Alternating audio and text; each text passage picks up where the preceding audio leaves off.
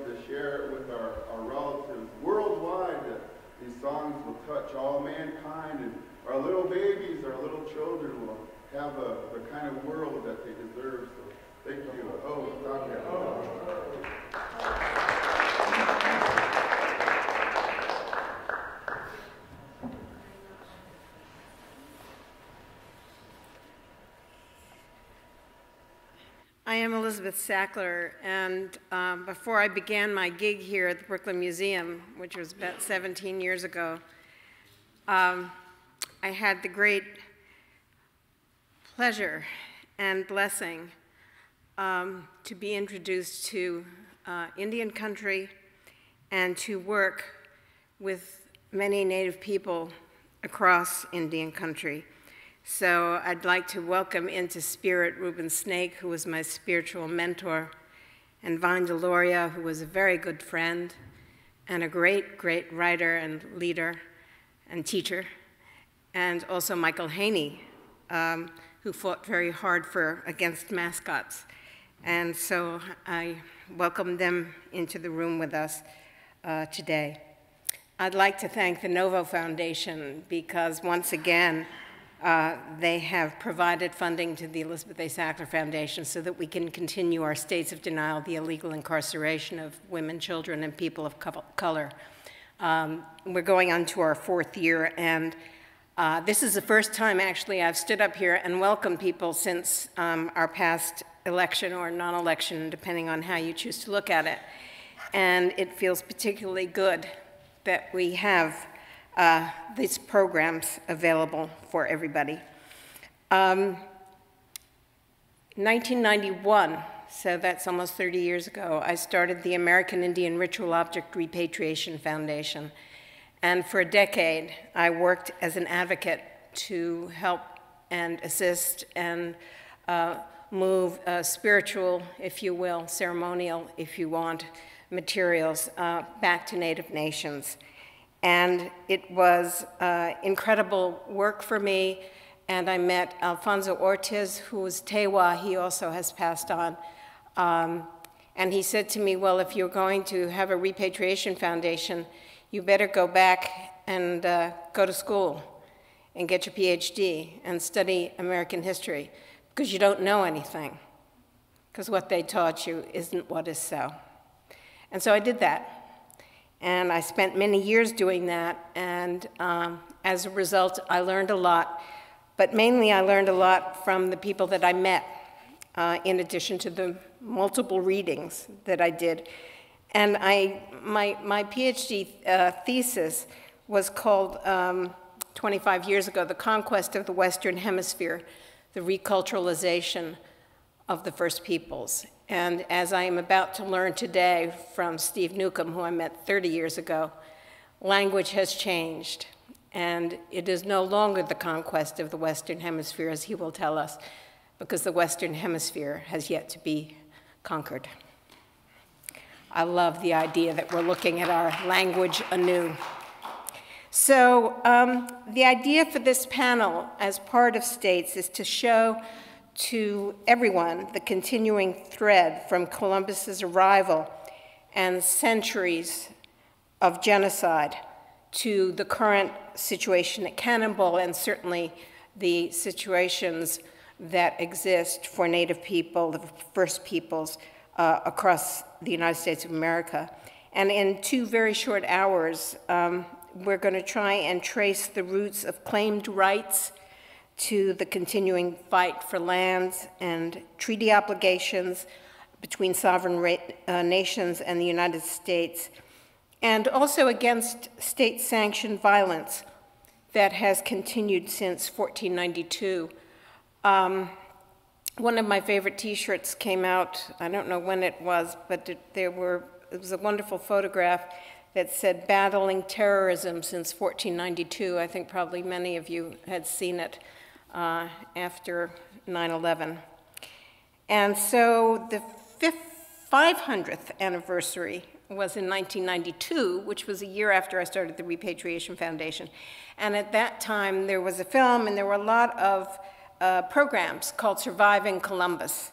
Uh, that was a survival of bigotry, overt and covert racism, abuse, political and mass incarceration. And uh, colonization and the colonialization is the framework uh, of the historic and systematic and systemic nature of our contemporary mass incarceration system. And the hyper-incarceration of American Indians shows the continuing genocide of Native Americans in the United States. So my goal uh, in planning this day is therefore to remind us, to educate us, and to support the facts that we are not taught about the conquest of Turtle Island and the continuing struggle of the First Peoples to protect the land, Mother Earth, for their peoples, but as we heard and as we know, for all peoples. Uh, so my welcome to you is going to begin with select readings from Leonard Peltier's prison writing. And I'm then going to move on to my role as moderator, uh, which I normally don't do, but because I have worked in this area for as long as I have, I feel particularly honored to moderate the panel, the wonderful panel that we have together uh, today. So uh, we will have time afterwards for Q&A, and I am going to begin by doing some readings. This is by Chief Arvol Looking Horse. Let it be known that Leonard Peltier is the son of our great grandfather, a spiritual warrior of the Lakota, Dakota, and Nakota nations. He shares the spirit of our ancestors who fought for the rights of our people, such as Crazy Horse and Sitting Bull. He is a man who has borne witness to the pain and suffering of our grandmothers, women, and children. As a sun dancer, and the name of his book, by the way, Prison Writings, My Life is My Sundance. As a sundancer, he sacrificed his life to the people seeking justice for all of our relatives. He offered himself to Wankantanka so that the people may have peace and happiness once again. I, Chief Arvol Looking Horse, 19th generation keeper of the sacred pipe, sacred white buffalo calf pipe, ask that Leonard Peltier receive the blessings of the Great Spirit for his words to become etched in the minds and hearts of all people.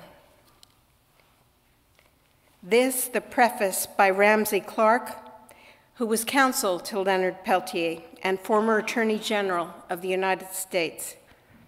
I want to tell you why the freedom of Leonard Peltier is so important. There are well over 200 million indigenous people on the planet, maybe as many as 300 million. They live on six continents and on countless numbers of islands, and everywhere they are the most endangered of the human species. Yet the survival of humanity depends upon their salvation. Leonard Peltier is a symbol of that struggle I am distressed, saddened, and outraged that so many Americans have forgotten or perhaps never known who he is and what he represents. If we forget him, we forget the struggle itself. Strangely, he is much better known outside of this country than here, in Europe, in Canada, in South America, in Asia, in Africa. Enlightened people around the world see him it's the struggle of all indigenous people for their lives, their dignity, for their sovereignty, their future. And they wonder, how is it that this man has been held for so long when his innocence is known by those who hold him? Here in the United States, his voice and the urgent message of indigenous peoples everywhere has been muffled, if not silenced. Those who put him behind bars and insist on keeping him there after nearly quarter a century believe he has been consigned to the dustbin of history, along with the cause of Native peoples everywhere. We must not allow that to happen, to continue. Chapter 1, 10 p.m. Time for the nightly lockdown and head count. The heavy metal door to my cell lets out an ominous grinding sound that slides abruptly shut with a loud clang. I hear other doors clanging almost simultaneously down the cell block. The walls reverberate, as do my nerves. Even though I know it's about to happen, at the sudden noise, my skin jumps. I'm always on edge in here, always nervous, always apprehensive. I'd be a fool not to be. You never let your guard down when you live in hell. Every sudden sound has its own terror, every silence, too. One of those sounds or one of those silences could well be my last. I know, but which one? My body twitches slightly at each unexpected footfall, each slamming metal door. Will my death announce itself with a scream or do its work in silence? Will it come slowly or quickly? Does it matter? Wouldn't quick be better than slow anyway? Poem I am everyone. I am everyone who ever died without a voice or a prayer or a hope or a chance. Everyone who ever suffered for being an Indian, for being human, for being indigenous, for being free, for being other, for being committed. I am every one of them, every single one. Yes, even you. I am everyone.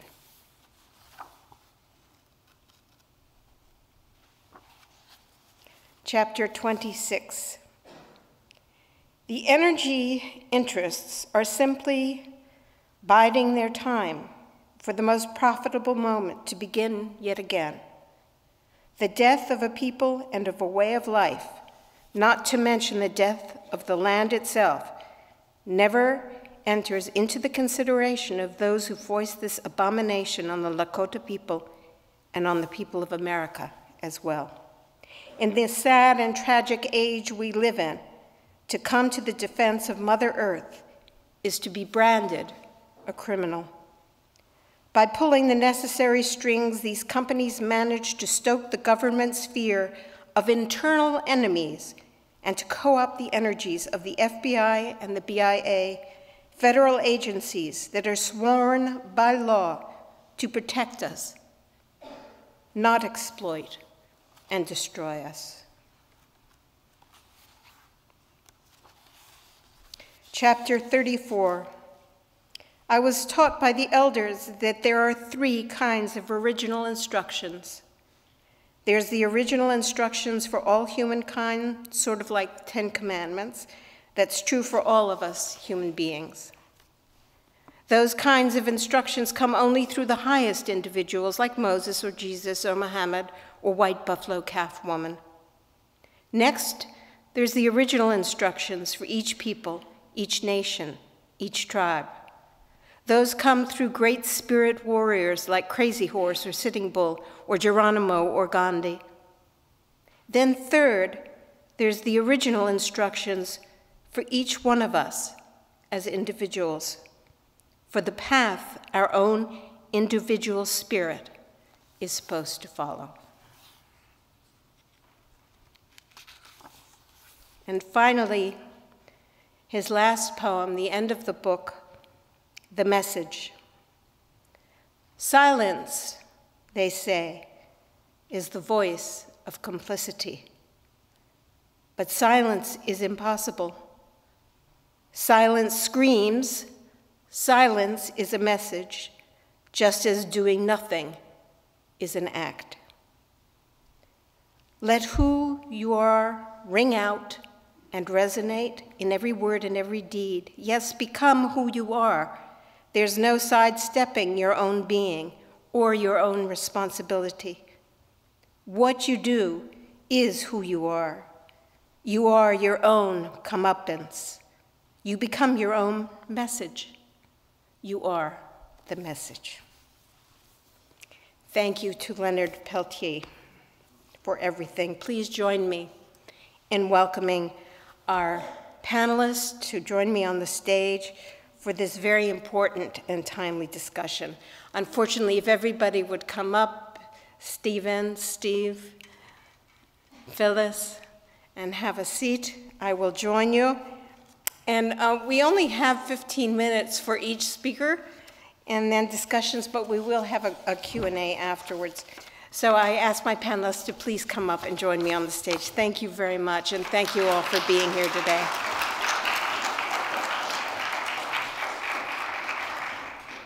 So thank you. Thank you, Phyllis. And where's Steve Newcomb? We're missing Steve Newcomb, but he will come, Stephen Pevar. And here's Steve Newcomb. Tiokasin Ghosthorse. Yes, no, please go ahead. Uh, I'm going to introduce uh, all of our panelists, and then, and then we'll begin. Um, to my right is Tiokasin Ghosthorse, and he is the host of syndicated First Voices Radio, NYC, heard on 70 FM since 1992. He is Cheyenne River Lakota from South Dakota. Tiokasin is an international speaker on peace, indigenous, and Mother Earth perspectives he focuses his work on the philosophy, the cosmology, diversity, and perspective of indigenous peoples worldwide and the anthropocentric thinking processes of the West. He serves on boards of charitable and children's organizations dedicated to bringing non Western education to Native and non Native children. To his right, yes. to his right is Steve Newcomb who is Shawnee Lenape. He is a legal scholar and advocate for indigenous nations who has carried on global campaigns since 1992, which is actually when we met. Uh, with Birgil Kills Straight, an elder of the Oglala Lakota Nation, he founded the Indigenous Law Institute to challenge imperial Vatican documents from the 15th century. It is those documents that resulted in the dissemination and domination of the original nations and First Peoples. Published in 2008, Pagans in the Promised Land Decoding the Doctrine of Discovery provided the context for the documentary The Doctrine of Discovery Unmasking the Domination Code. We look forward, thank you for being here, Stephen, to hearing from you. We are very honored today also to have Phyllis Young. Phyllis has been a lifelong activist. She is co founder of Women of All Red Nations, former chair of the Board of Trustees of the NMAI, and former member of the Standing Rock Tribal Council. In the 1970s, she fought to reinstate the Sundance. In the 1980s, Phyllis fought against the forced sterilization of Indian women and is now focused on suicide prevention. She is a relative, as I had said earlier, of Vine Deloria, my dear friend, uh, whose books, dozens of books, include The Trails of Broken Treaties. And you have just come from uh, Standing Rock and Washington, and we look forward very much to hearing what you have to tell us today.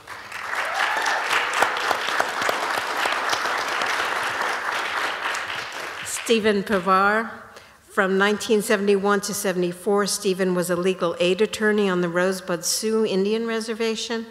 From 1976 to the present, he has been a national staff counsel for the ACLU, who has litigated, he has litigated 200 federal cases involving constitutional rights.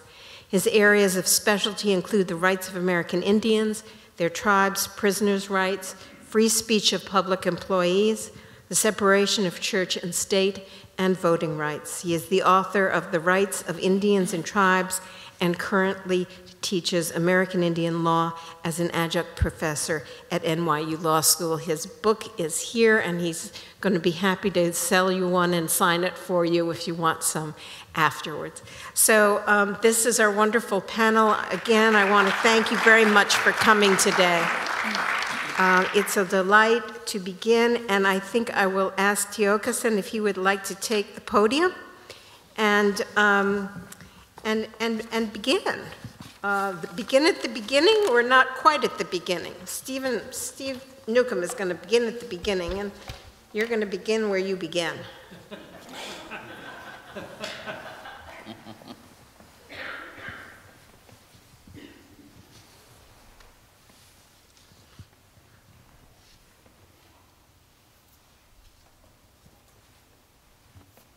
So did we begin? All right.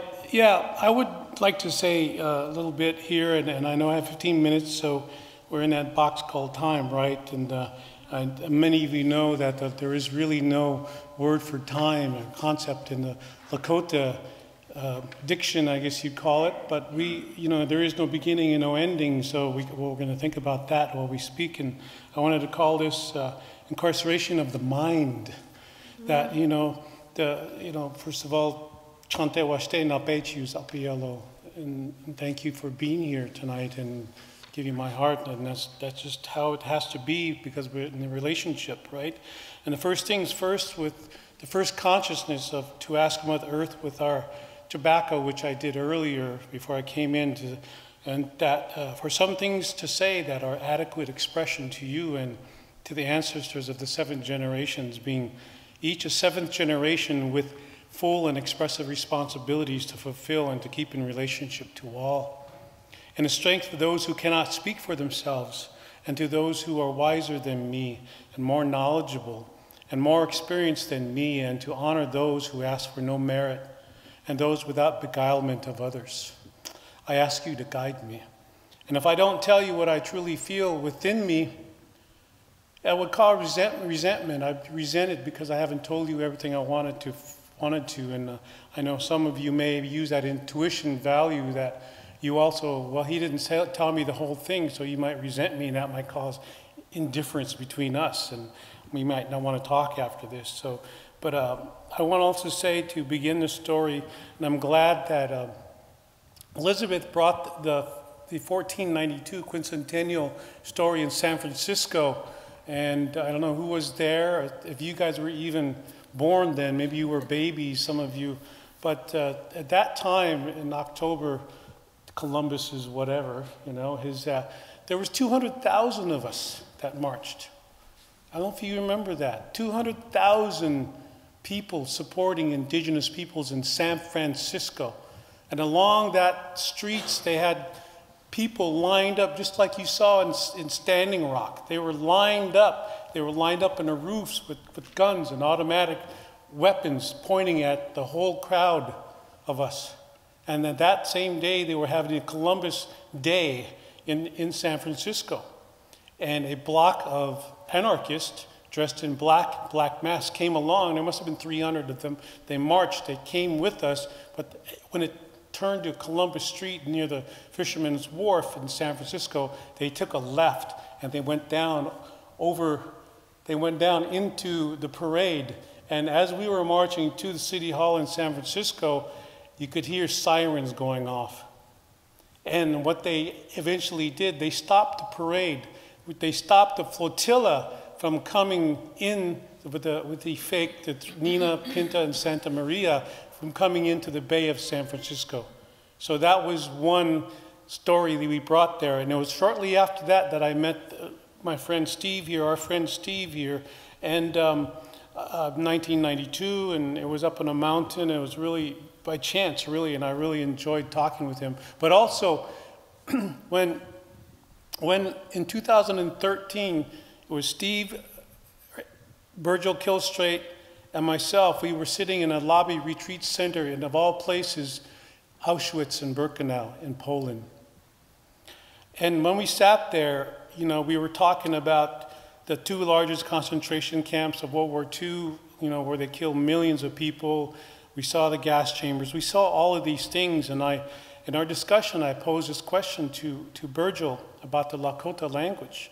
And the question was that, do we have a word in Lakota for domination? His answer was no. We have no word nor a concept for domination. Think about that. So no word or concept, because mitakuye oyasin is to be related to everything seen and unseen, and whether we think it's alive or inanimate, it's truer relationship because of our relational aspects that is not based on hierarchy, elitism, or supremacy. So from that point forward, all of my perspective from that point has been whether the language that I'm personally using equates to the Latin-based English language and its domination language.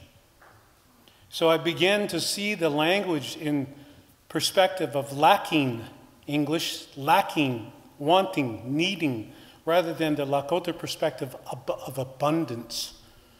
And I began to see who and where are my reference points were they coming from? To anything native? We were being dominated by the Western system of logic and reason and of situ- and the situation of native peoples across Mother Earth. And I know that currently there are 7,000 languages spoken in the world. About 5,400 of those, 5,400 of those languages are indigenous languages. And I would say native from now on. And yet we number less than 1% of the total population of Earth. 7.3 billion people on Earth. We're less than 1%, about 340 million. And many of those na native languages I've come to know after studying for almost 30 years is that many of these languages have no word or concept for domination either. It's because if we realize that of, of the English is derived from Latin. The Roman Empire's language, or any Latin derived language for that matter, is a conquering war language of materialism, ownership, dogma, class war, religious patriarchy, domination, disconnection, and cultural killing. We then, we then know denial is encoded into language through rationalizing its own existence, because it has to. And if I had thought to do anything relation, with relationship, then none of these terms I used would exist. But then that would leave us all this judgment. And where I, have to, where I want to leave as a just a difference is that nothing to do with idealism, but I know not, but I'm not thinking about anything without evolution. So I came more research of all the people in the United States, and I want to mention this guy because he's kind of a, a honorable mention to me, and you all know him, Albert Einstein. And he came to the United States in 1930.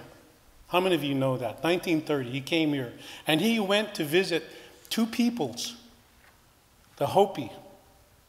He visited the Hopi, and he, he had remarked, he remarked this after visiting the Hopi. He said, and these are children without ever picking up a book in remote parts of the country. And he said, among all people, 12 year old children of the Hopi were the best prepared to, to grasp the theory of relativity.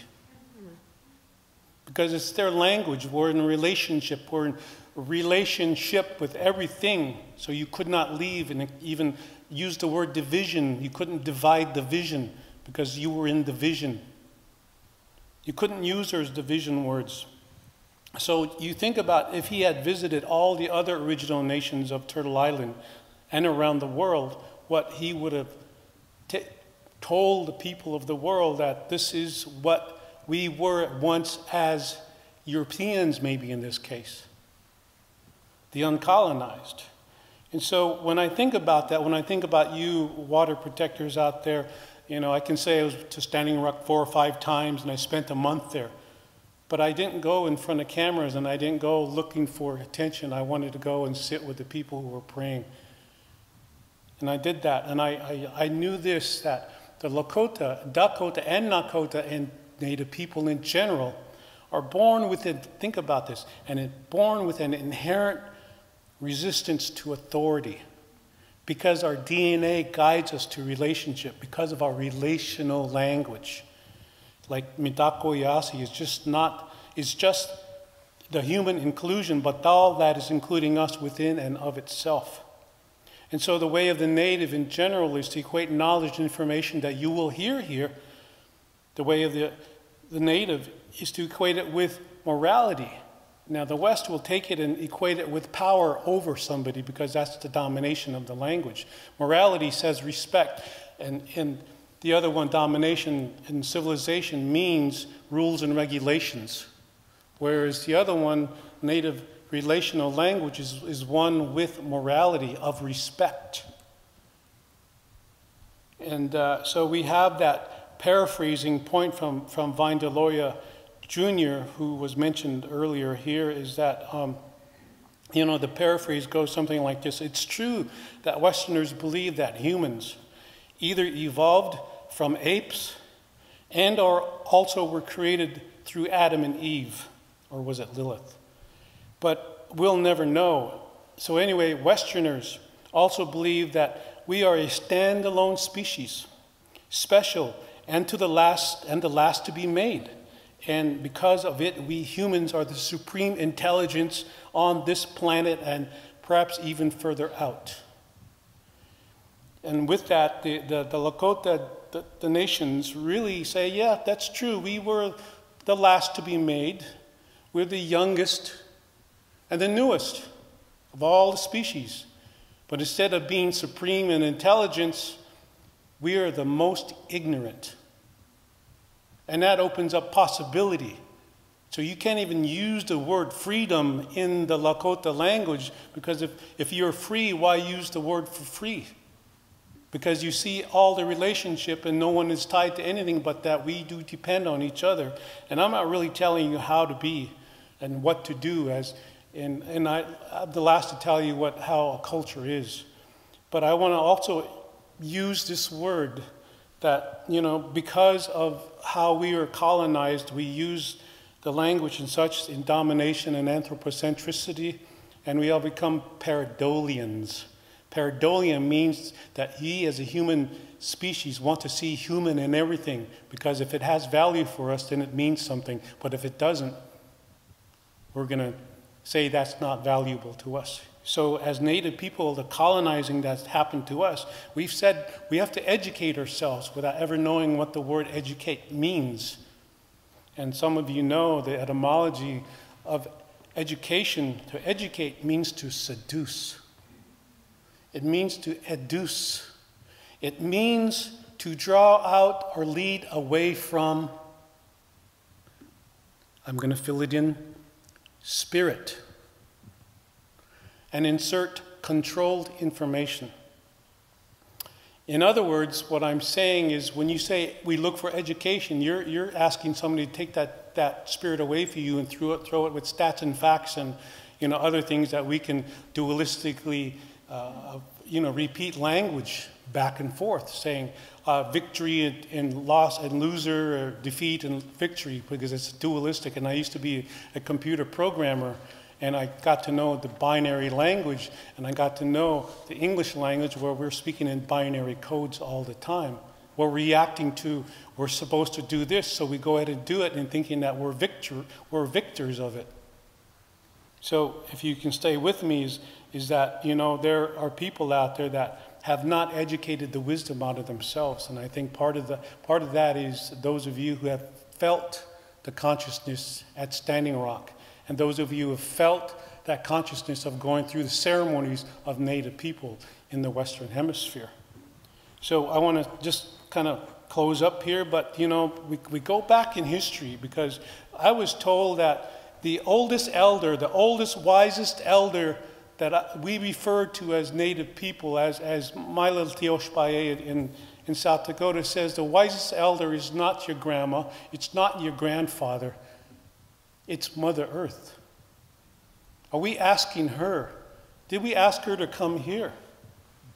Because that's what it's all about. She, she puts out the balance. So Chief Joseph of the Nez Perce says he was talking to, a, to a, a commissioner back in the 1800s, and the commissioner was trying to convince him that he, he needed to uh, have the advantage of having a government funded school located on a reservation. And commissioner says, Why don't you want schools? And Chief Joseph says, They will teach us to have churches. And the commissioner says, Do you not want churches?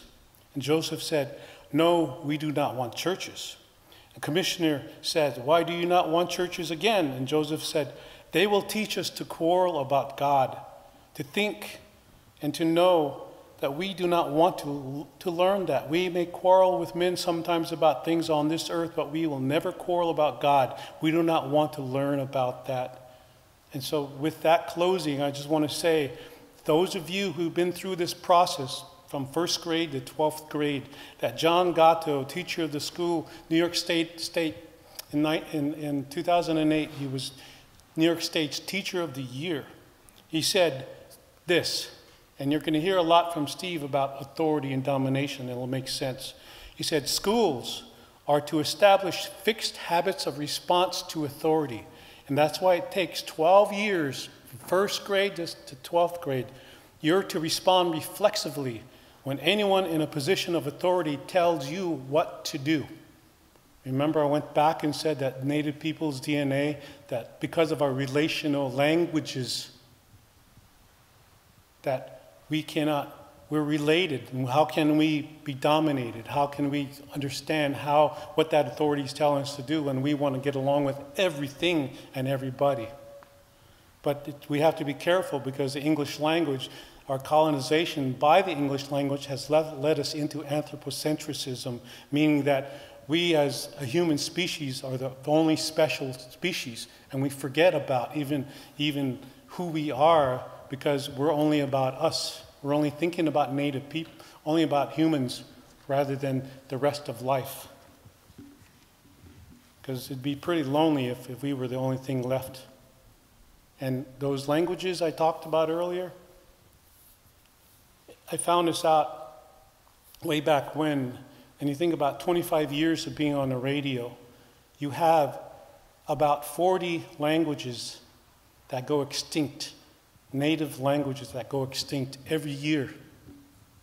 And with that rate, at the end of this century, there may not be any more indigenous languages spoken. So now the consciousness of Standing Rock comes up even more. We have that idea about we are stuck in the, incarcerating our minds with the language we use, and the duality.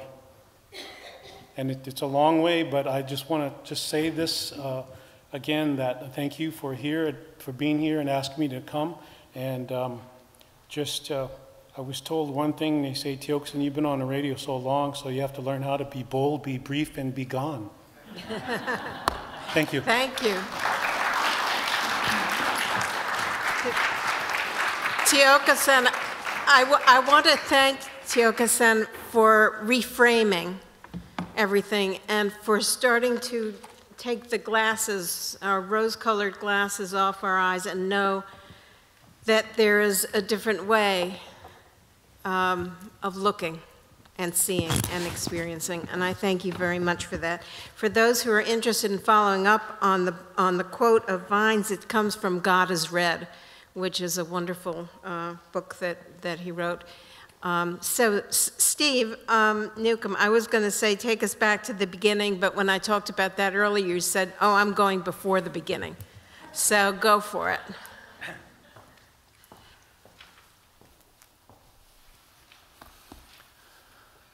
Gishilaming, Mil, Ungundawakan, Mili, Ungundawakan, Wuli Nepali, Wuli Nepalinan, Wanishi, Gishilaming. I wanted to pay my respects to our Lenape ancestors from this uh, region of Great Turtle Island and um, thank Elizabeth Sackler and uh, Claire and Rebecca, and those folks that helped to put this panel together, this event together. And um, I'm not going to talk about domination this afternoon. No, I'm kidding. Um, but the, um, the, from Columbus to Cannon Ball, Cannonball has to do with the, um, and, and of course Phyllis Young will speak to this, be able to speak to this much more clearly than myself, but it has to do with a, a place where the river rolls uh, stones so that they, come, they become round. And, uh, and they're sacred stones. They're, they're oriented toward a spiritual um, understanding, cosmology.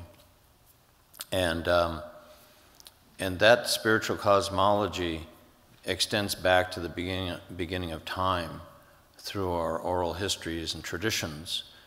I want to also, uh, while I'm thinking about it, remember to acknowledge my friend and mentor, Birgil Kills Straight, a traditional headman of the Oglala Lakota Nation, a dear friend uh, who took me under his wing so many uh, years ago to begin this work.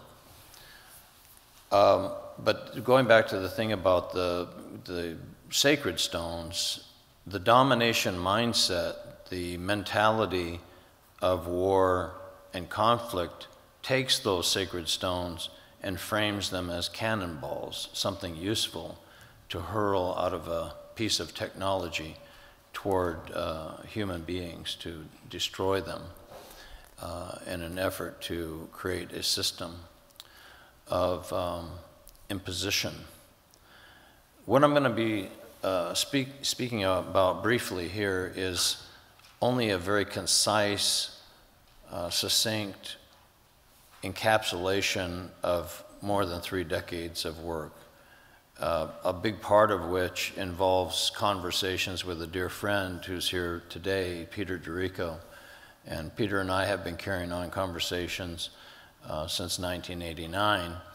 And um, those are very, have been very important to my development. I, I really acknowledge him.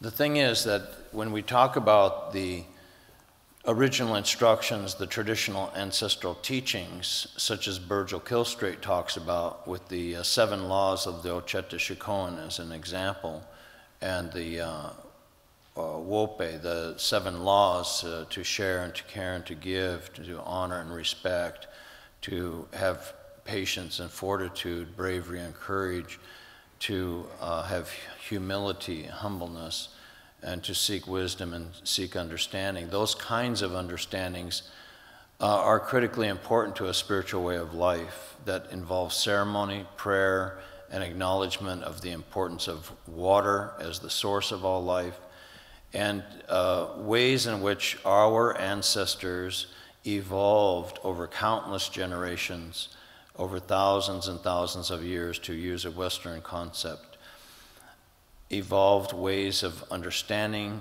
relational existences where all life forms are honored and respected. I just visited the Maori nation, the Maori people. I just flew back from Aotearoa uh, as the um, non-Maori people call it New Zealand. But uh, I had a wonderful opportunity to sit with an elder and uh, learn about mana. And mana is the spirit, the life force that every single thing has, every single person has. And um, he, he pointed out that there's no understanding within their language system, their conceptual system, that allows one person to impose mana on another person or to impose mana on other forms of life. And if you go, just like what Tiokasin was saying, if you go and survey indigenous languages, uh, or as I would term it, prefer to term it, original nations languages, you'll find that the, the same theme exists throughout all of them. So oyasin, all our relations, um, is, is uh, a critically important understanding, insight. And uh, it has to do with a spiritual way of seeing and knowing, discerning, communicating with ancestral spirits through ceremony, and it, it's very involved. So then take those uh, seven laws that I mentioned and, uh, and then contrast that now with an alternative image, a conception, conceptual system that goes back to Vatican documents from the 15th century. And in saying this, what I'm about to explain to you very succinctly is in contrast to much of what is understood and taught in federal, federal Indian law circles. Although there are some law schools that do at least allude to this through the work of Robert Williams and at the University of Arizona and, and others, there are ways in which these particular patterns I'm about to explain are not really used very, very much or at all. And um, so my, my, one of the key things that I'm working on is a reframing, to examine English terms, to go deep into them so that we have a much better insight into what we're actually saying. Sometimes we're saying one thing and we don't understand that we we think we're intending to say one thing, we're actually saying something else. So these Vatican documents from the 15th century uh, are, for example, the Dum Diversas from 1452, issued by Pope Nicholas V to King Alfonso of Portugal. It contains a formula in there that I'm going to give you the exact terminology. And when you think of wrongful incarceration, when you think of the murdered and missing women up in north of the US Canadian line, the murdered and missing women down below the US Mexican line, the uh, thousands of people that have perished down in Mexico through um, all kinds of, of um, horrific conflicts. Think of Honduras, think of you know, Berta Cáceres and her assassination. Uh, think of the book um, Thy Will Be Done and the way in which the um, powers that be, quote unquote, are in orchestrating policies of destruction for entire peoples, genocidal policies that involve destruction of entire ecosystems, and, and think of these words I'm about to explain to you because they encapsulate a, a paradigm.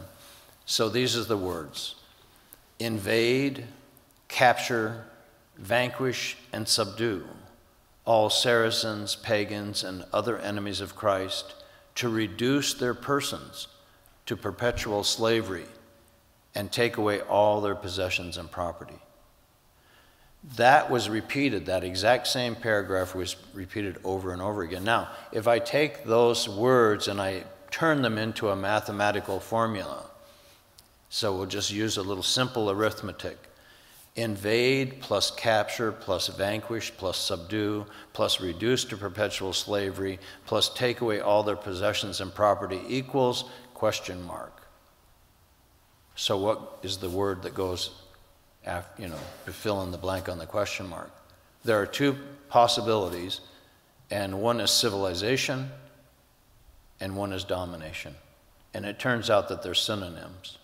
And the definition of, of civilization that goes with that is from the, Webster's New International Dictionary, the third edition. The forcing of a particular cultural pattern on a population to which it is foreign. State was defined by Max uh, Weber, very important German sociologist, as the relation of men dominating men in order for the state to exist, the dominated must submit themselves to the authority of the powers that be. Property is defined by Lance Liebman, who teaches right over at Columbia, excuse me, Columbia University, and his co-author, now deceased uh, Charles Monroe Haar, as the first establishment of socially approved physical domination over some part of the natural world. The term dominion used in Johnson versus McIntosh from 1823, ultimate dominion, uh, is also part of this paradigm and patterning.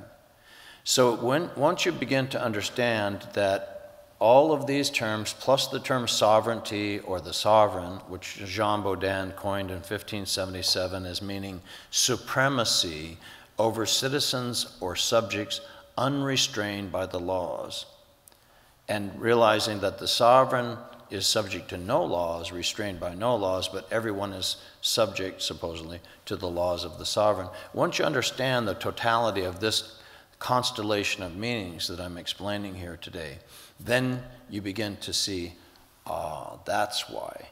That's why everything turns out the way that it does for original nations and peoples. The term indigenous does not mean original nations and peoples. It does initially. It says there's a starting point of an original free people existing in some place. When a secondary population or ethnic group comes in and through conquest, settlement, and other means establishes dominance over them. That's indigenous. This is the indigenous part, the domination over. That's according to the United Nations working definitions, there's more than one, talking about pre invasion. Well, to talk about pre-invasion, then there's an invasion. Talk about pre-colonial, there's a, then there's a colonial system, which is a domination system. Colonization, which is the invasion of a particular territory of a particular group of people, and through various means to thrust yourself into that, as uh, Samuel Morison said, the Rear Admiral historian, thrust yourself in there and to control or eliminate the original people, the original population. All of these patterns explain, once you, once you really get it, explain the way in which all of the destruction has happened. The world is in the grip of a system that was unleashed by the Vatican, but it long predates that, that system. It goes back to the Roman Empire and even before that, thousands of years before that, through a language system that we are now communicating in. More than 60% of English comes from Latin. Tribe, tribal, these are terms of subordination. That's why I prefer the term nation. That's why I prefer original nations rather than indigenous nations. But, you know, choose your misnomer because they're all misnomers. So you have to know why you're using a term, the context in which you're using it, and, and, and attempting to explain all this to you uh, is, is somewhat challenging because I, we all have limited amount of time. But the thing is, I'm going to sum up here by saying that United States federal Indian law for dominating our original nations and peoples is not American Indian law because no Indians made it. It's ideas that white guys put down on paper and orchestrated as conceptual impositions on our territories, on our nations, on our peoples, to the destruction of our ancestors, or as Andrew Jackson famously said, they just melted away. Right? But the thing is that these, we, ha we have this predicament that we're in a system that I'm explaining today that is reinforced even when you attempt to resist it. So then you're in this double bind, what uh, very important concept of damned if you do, damned if you don't. So then what do you do with that? It's, I'm not saying these things to, to get people into a place of despair. I'm, we have to redouble our efforts and be very spiritually centered, very spiritually attuned, intensified in our course of action in working to decode and understand exact, exactly what we're dealing with. And so maybe that's probably enough. I wanted to wrap up by uh, giving you a little bit of a lyric that a friend, Pila Lornell, um, encouraged me to create for the younger audience. And I'm not really a rap person, but I'll attempt a, a, lyric. And it's in honor of Standing Rock. And it's, uh, it goes like this. We are the original nations of Great Turtle Island praying for all our relations, entirely free originally, forever that way we shall rightfully be, rejecting claim discovery. You say you discovered our lands and our lives. We all know that's nothing but lies with a colonial design to dehumanize. You can't discover another nation's home with permission from a pope in Rome and rightfully impose a capital dome kings, queens, potentates, bearing symbols of church and state, claimed a right to dominate. Their ancestors sailed under color of God, divine right to take that was nothing but fraud. We're sustained by our spirituality and our abiding reality. So they've tried to destroy our sacred sites and ceremonial places, yet we've held tight. They're never going to erase us. From this blue orb of day and night, with living waters and sunlight, we pray for all the elements of life. We are the pre American nation standing with Standing Rock, our relations, entirely free originally, forever that way we shall rightfully be, rejecting your assumed superiority. Mni Wiconi, we know water is life for everyone. Thank you, One Nation.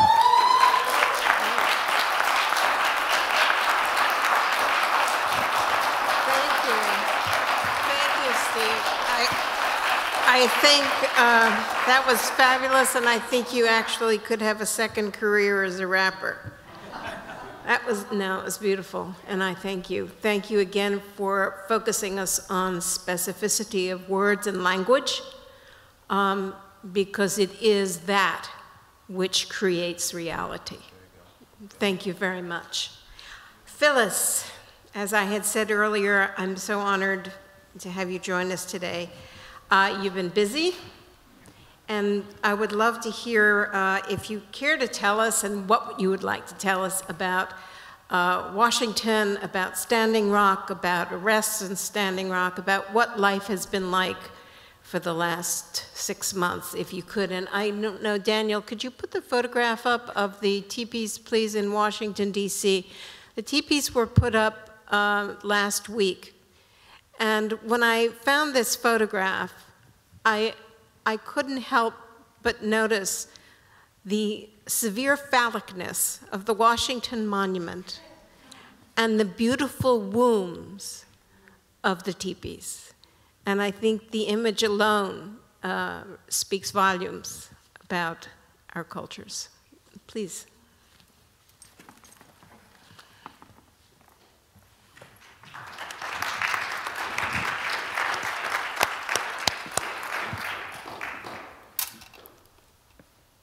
I'm setting my time because I I learned to speak English, and um, I can really talk a long time. Chante was saying I offer you my hand with a good heart. I just would like to um, talk about the teepees. First of all, I want to say about Christopher Columbus and the Spanish name, his actual name was Cristobal Colon. And Russell Means always said, I would never want to be named after the lower part of anyone's body. and he acted out accordingly, he said. So those are my, my memories of, of some words about Christopher Columbus.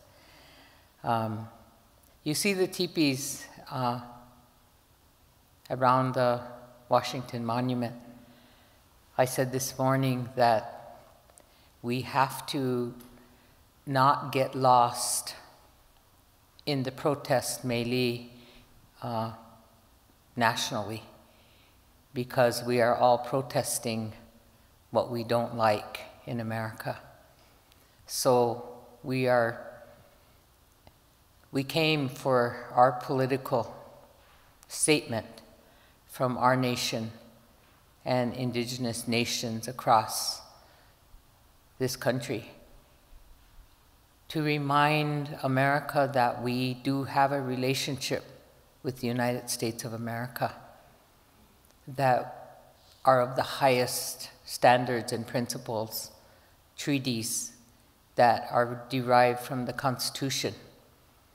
And they have been terribly breached by an executive order that has ordered the Army Corps to issue a permit and changed it swiftly to a memorandum,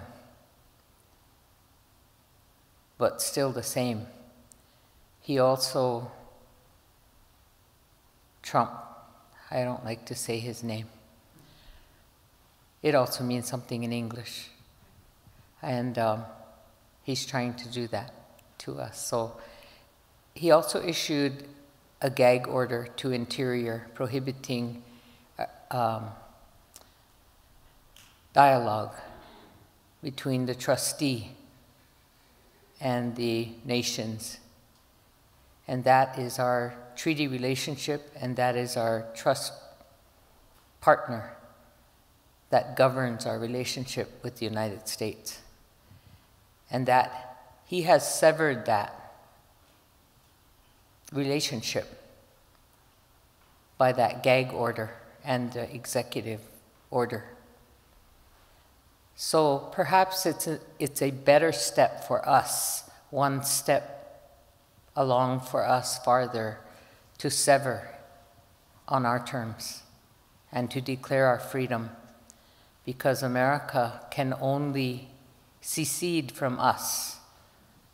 Our nations are the predecessor sovereign of America.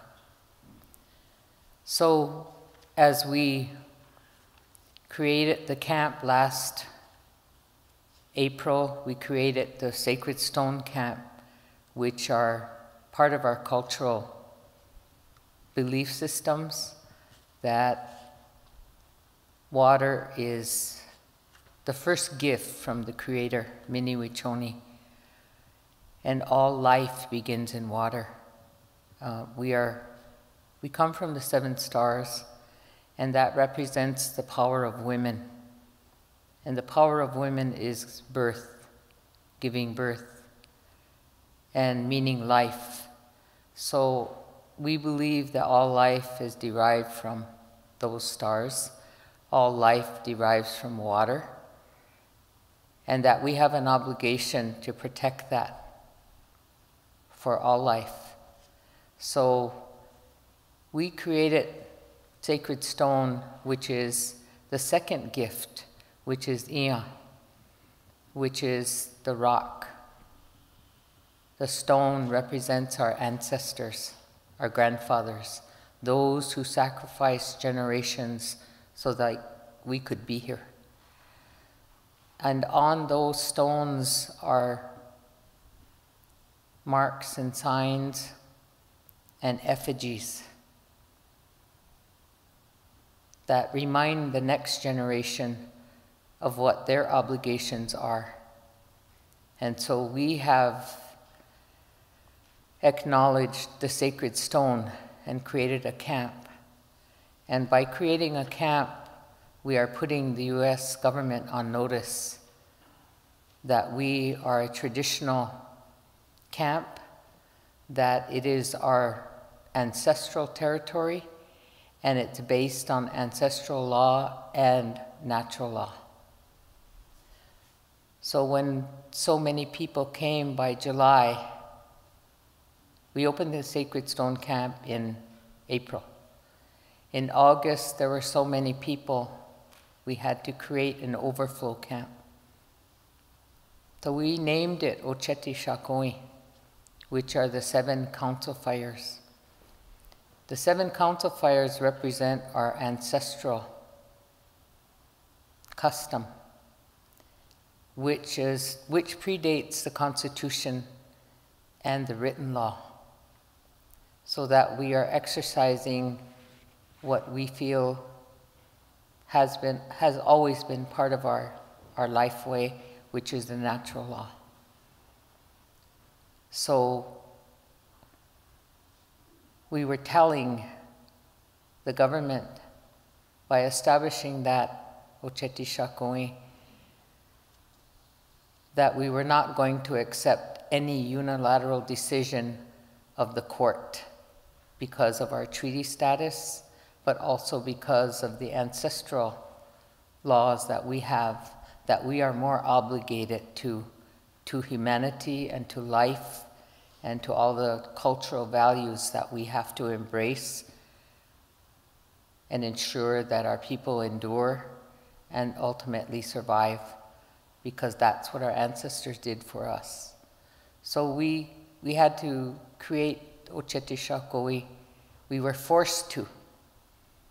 And we didn't ask any questions. We just pushed the overflow to the land that was next to Sacred Stone.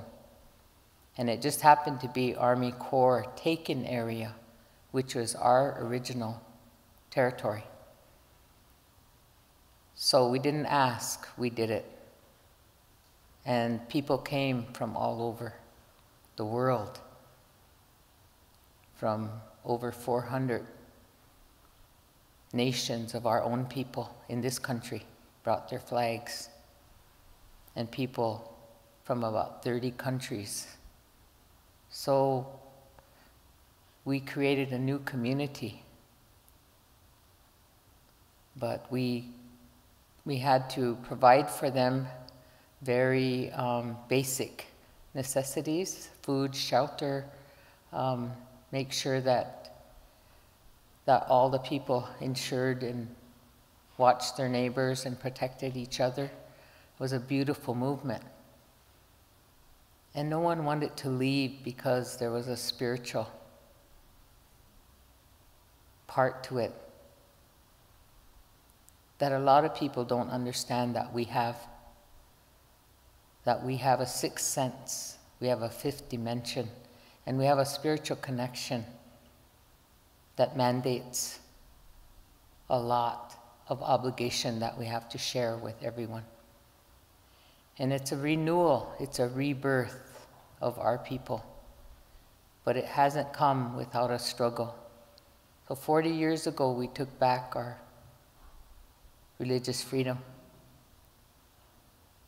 We defied the policies of the government that prohibited our spirituality and our religious freedom for 40 years, from 1910 to 1978. And we implemented, we took back consciously, we made an effort to take back our spirituality, our womanhood, our motherhood, our identity, our language, our culture. We embraced them. We learned how to love them. And we thank the underground for having carried those mysteries and secrets for 60 years.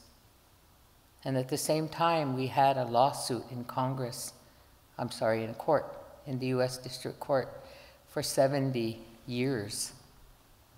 And the Supreme Court ruled that they would pay us pennies and not return the land. So we have never accepted that since 1980. And there's supposedly over $4 billion in the US Treasury that we have never accepted for the Black Hills or treaty territory.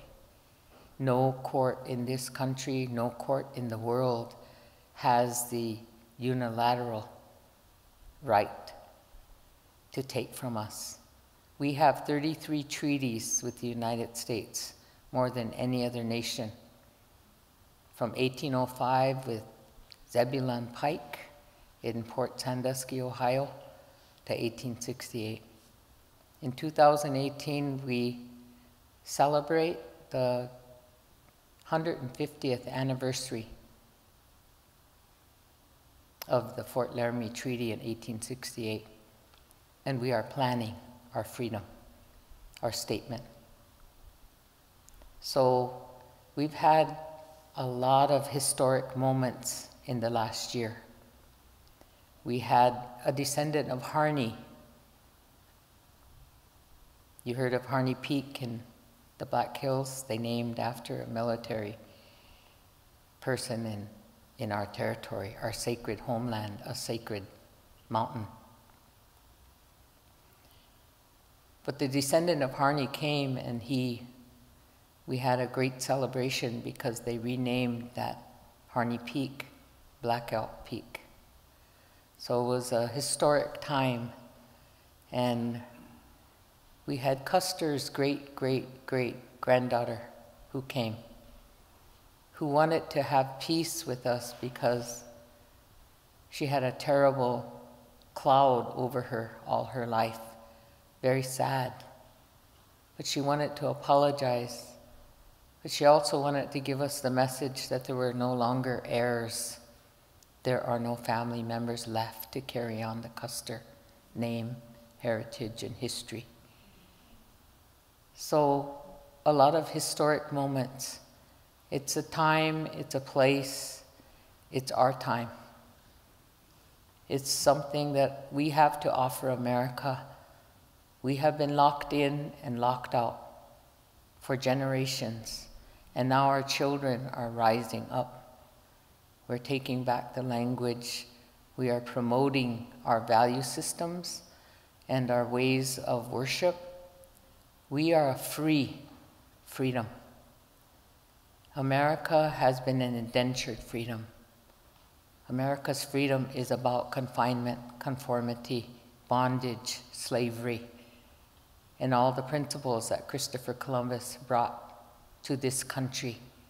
There is no longer RICA in America. We are going to change the Constitution. We are going to allow our children to learn our ways freely, and we are going to ensure that our freedom is free. And we're going to embark on an ambitious agenda for alternative energy. We're working on different areas of, um, with what we used to call cold fusion, but it's LENR. Uh, we're working with scientists to develop uh, models, uh, developing a model in the college, and we are also um, doing a demonstration model with a house for a generator so that we are creating um, energy. Um, we know that we have a long way to go because of the capitalism that is dominating, um, just like it is the fossil fuel industry. So our, our journey has been remarkable, strengthening, and really made me feel good as an elder in my twilight years. I can see the movement of young people across this country with new technologies that they have to embrace the principles, standards, and doctrines that made this country what it is. Our families were part of that. So I'm, I'm encouraged by the little progress that we made in the one year that happened. I'm encouraged by the young people that give us hope for the next generations. But we have a struggle ahead of us. So, as a mother, as a grandmother, as a woman, I say this that the linear age of man is over, and that it's incumbent upon the women to embrace the circle, to stop the destruction and the toxic environment that is occurring all over the world. We are a universal people. We are a pluralistic society, and that encompasses all. And the thunder beings are telling us what we re refer to as the weather the wind, the rain, the hail, it's all, the signs are there. And the wind is the female. And she, she plays by no one's rules. And she likes to be mischievous. But she's the eye of the hurricane. She's the, the, the storm in the tornado. And she's giving signs telling tales of climate change. And we have to adhere to those. And we have to stop because she's tilted. And we can never put her back. And we don't know the time that we have here. Maybe another millennium. It may be 20 years, 30 years but we have an obligation to the generations that are coming to make a continuing good life for them. And so I want to thank particularly the Americans who responded, who encouraged us, who gave us strength, and that we look forward for renewal in the natural way, in the good way, to protect Mother Earth, to love her, she's been rotating backwards. So we need to make sure that we do the good things that we, we are going to do for the natural world to retain her water so that she can provide water for our children, our grandchildren, So I'll stop here because my time is up.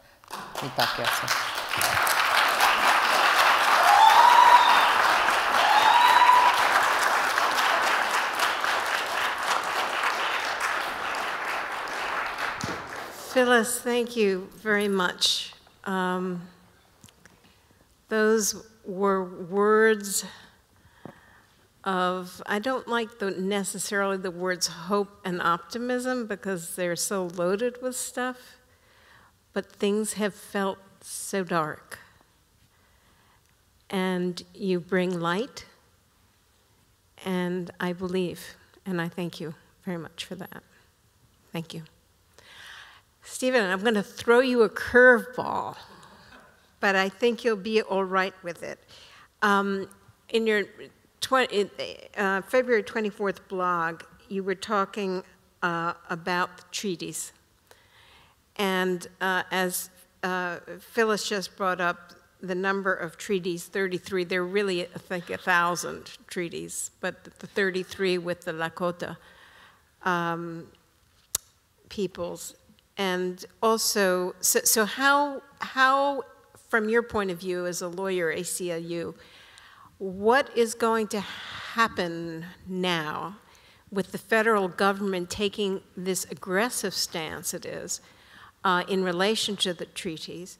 And also, um, we haven't discussed, and I'll just bring it up briefly, that there were hundreds of people who were arrested during the, um, the time at, at, Standing Rock and at Cannon Ball, and who is going to represent those people and how can we help them? So there's sort of three questions there. The first about the treaties, please.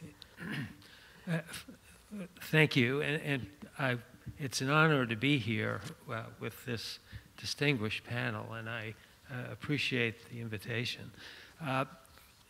As you uh, mentioned in the introduction, I, I, do teach American Indian law at NYU Law School. So I could talk for a long time and, uh, about these issues. Very briefly, with respect to uh, your, your question about treaties. Um, treaties, of course, are agreements between nations.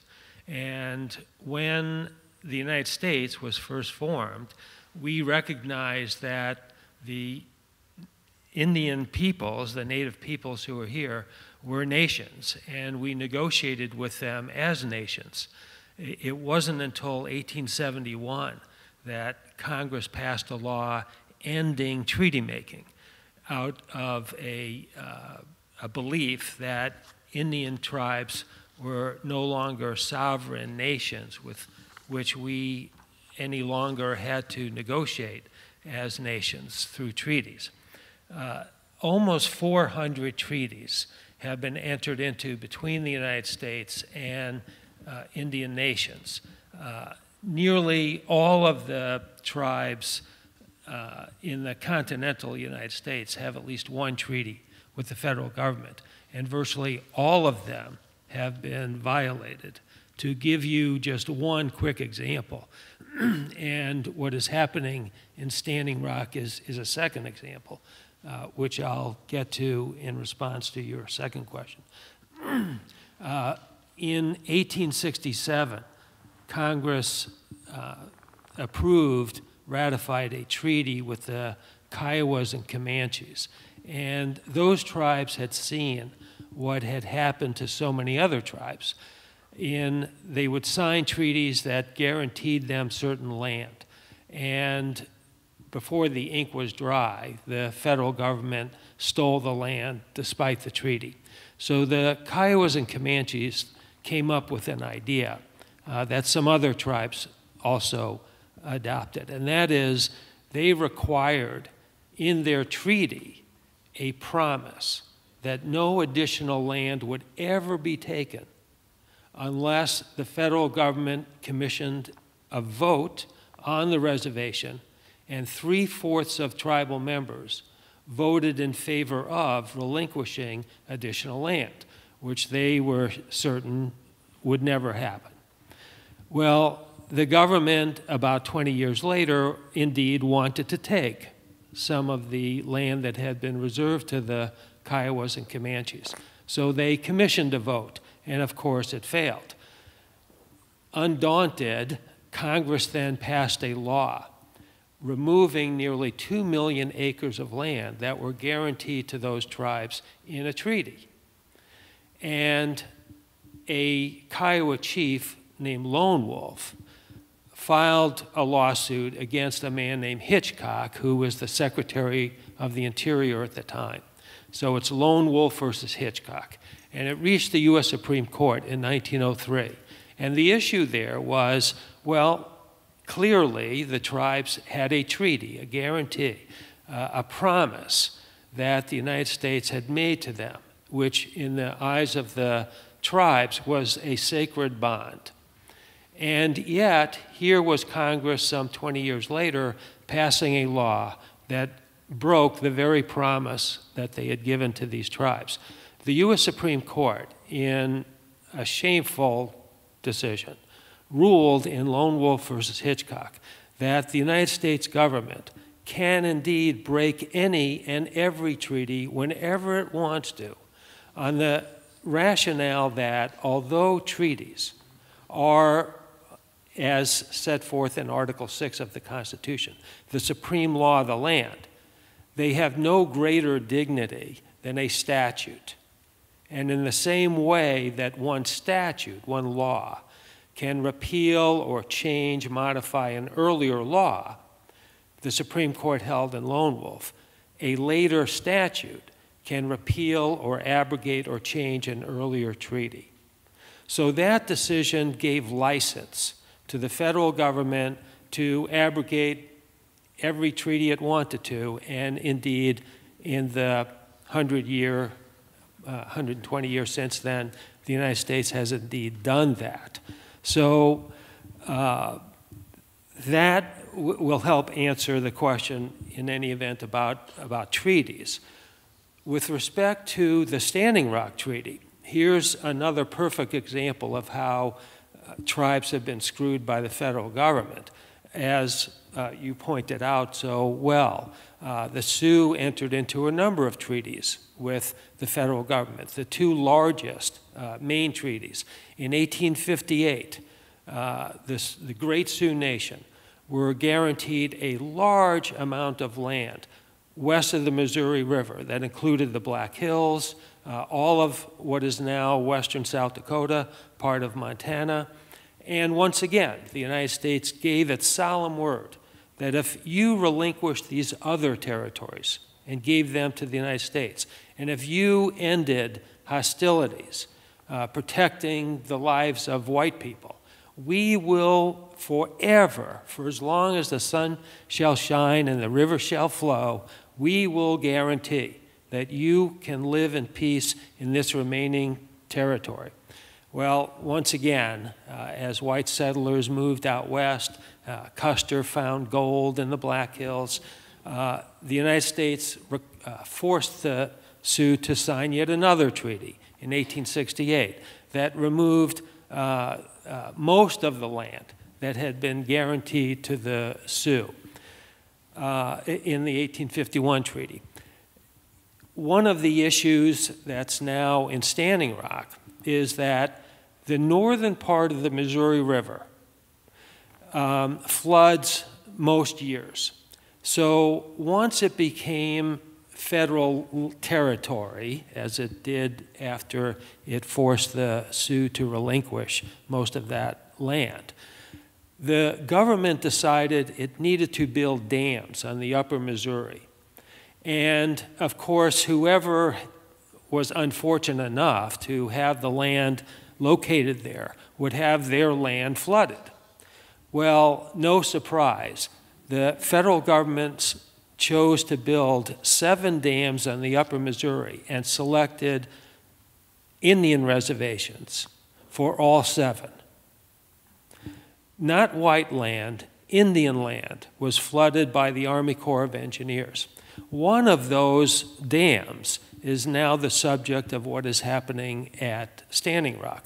The Standing Rock had to absorb uh, vast flooded lands also and it created a lake known as Lake Oahe, which is sacred to the Standing Rock. Well, the Energy Transfer Partners, the big oil company that wants to build this, this pipeline from uh, northwestern North Dakota, where vast oil reserves are located, to a refinery in Illinois. And the original route of the pipe, pipeline took it far north of the Standing Rock Reservation, but white landowners objected. So the oil company changed the route uh, to satisfy the white folks and move the pipeline so that it's a half a mile north of what is now the Standing Rock Reservation, underneath Lake Oahe. A rupture there would be catastrophic.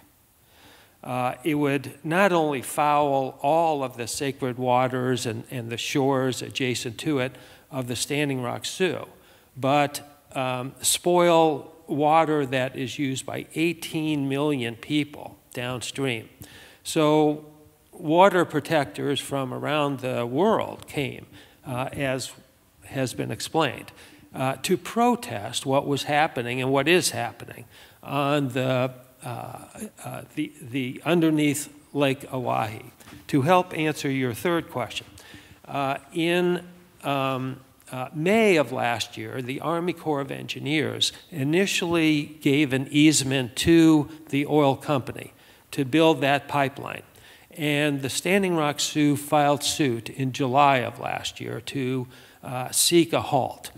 At the same time, thousands of people descended on this area and protested the construction of the pipeline underneath the Missouri River.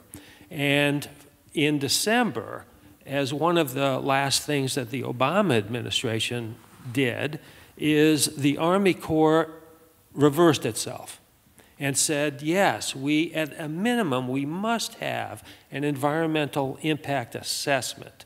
There's a federal law known as the uh, Na uh, National Environmental Policy Act, NEPA.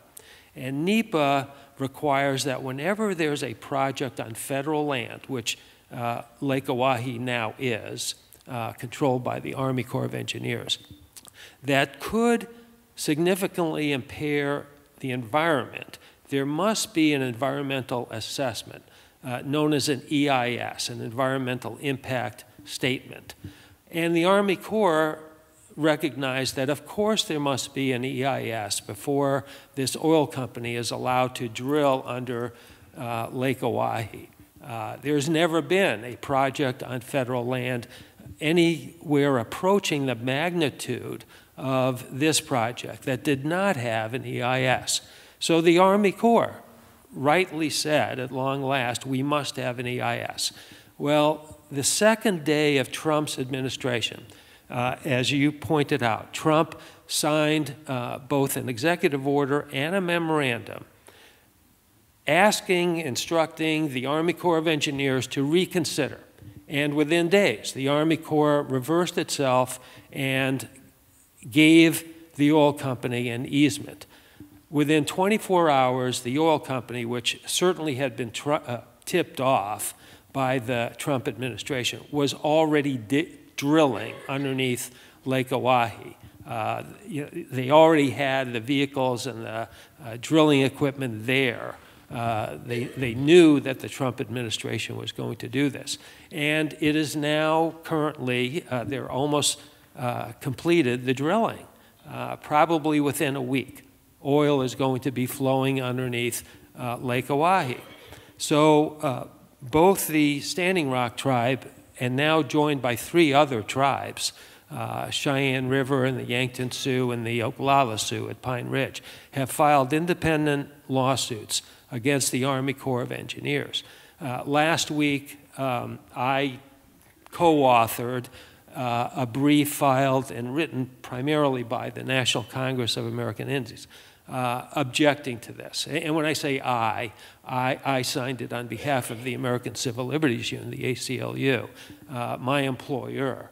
Um, and uh, we, along with, with uh, NCAI and 34 federally recognized tribes and 10 Indian organizations, are, are urging the court to rule in favor of the Standing Rock Sioux tribe and, and at a minimum, require the Army Corps of Engineers to, to insist on an environmental impact statement before the, the oil company, you know, turns on the switch and that oil uh, goes under the, the river.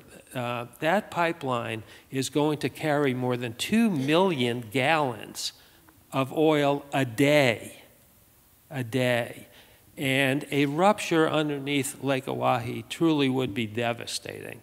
Uh, especially because, you know, when it's underneath the river, uh, you, most people won't know about it until significant oil has been uh, released. So I, I hope that has answered the, uh, the major questions you had, but if you have some others, I, and I want to try to leave Certainly has given us a very clear description um, of the dark side, Right. yeah. Uh, Pretty much what everyone else has been saying, and I- I've tried to put it in into some different- context. Yeah, yeah. And, and the, the protesters, why, why were people uh, arrested at Standing Rock, and who is going to defend them?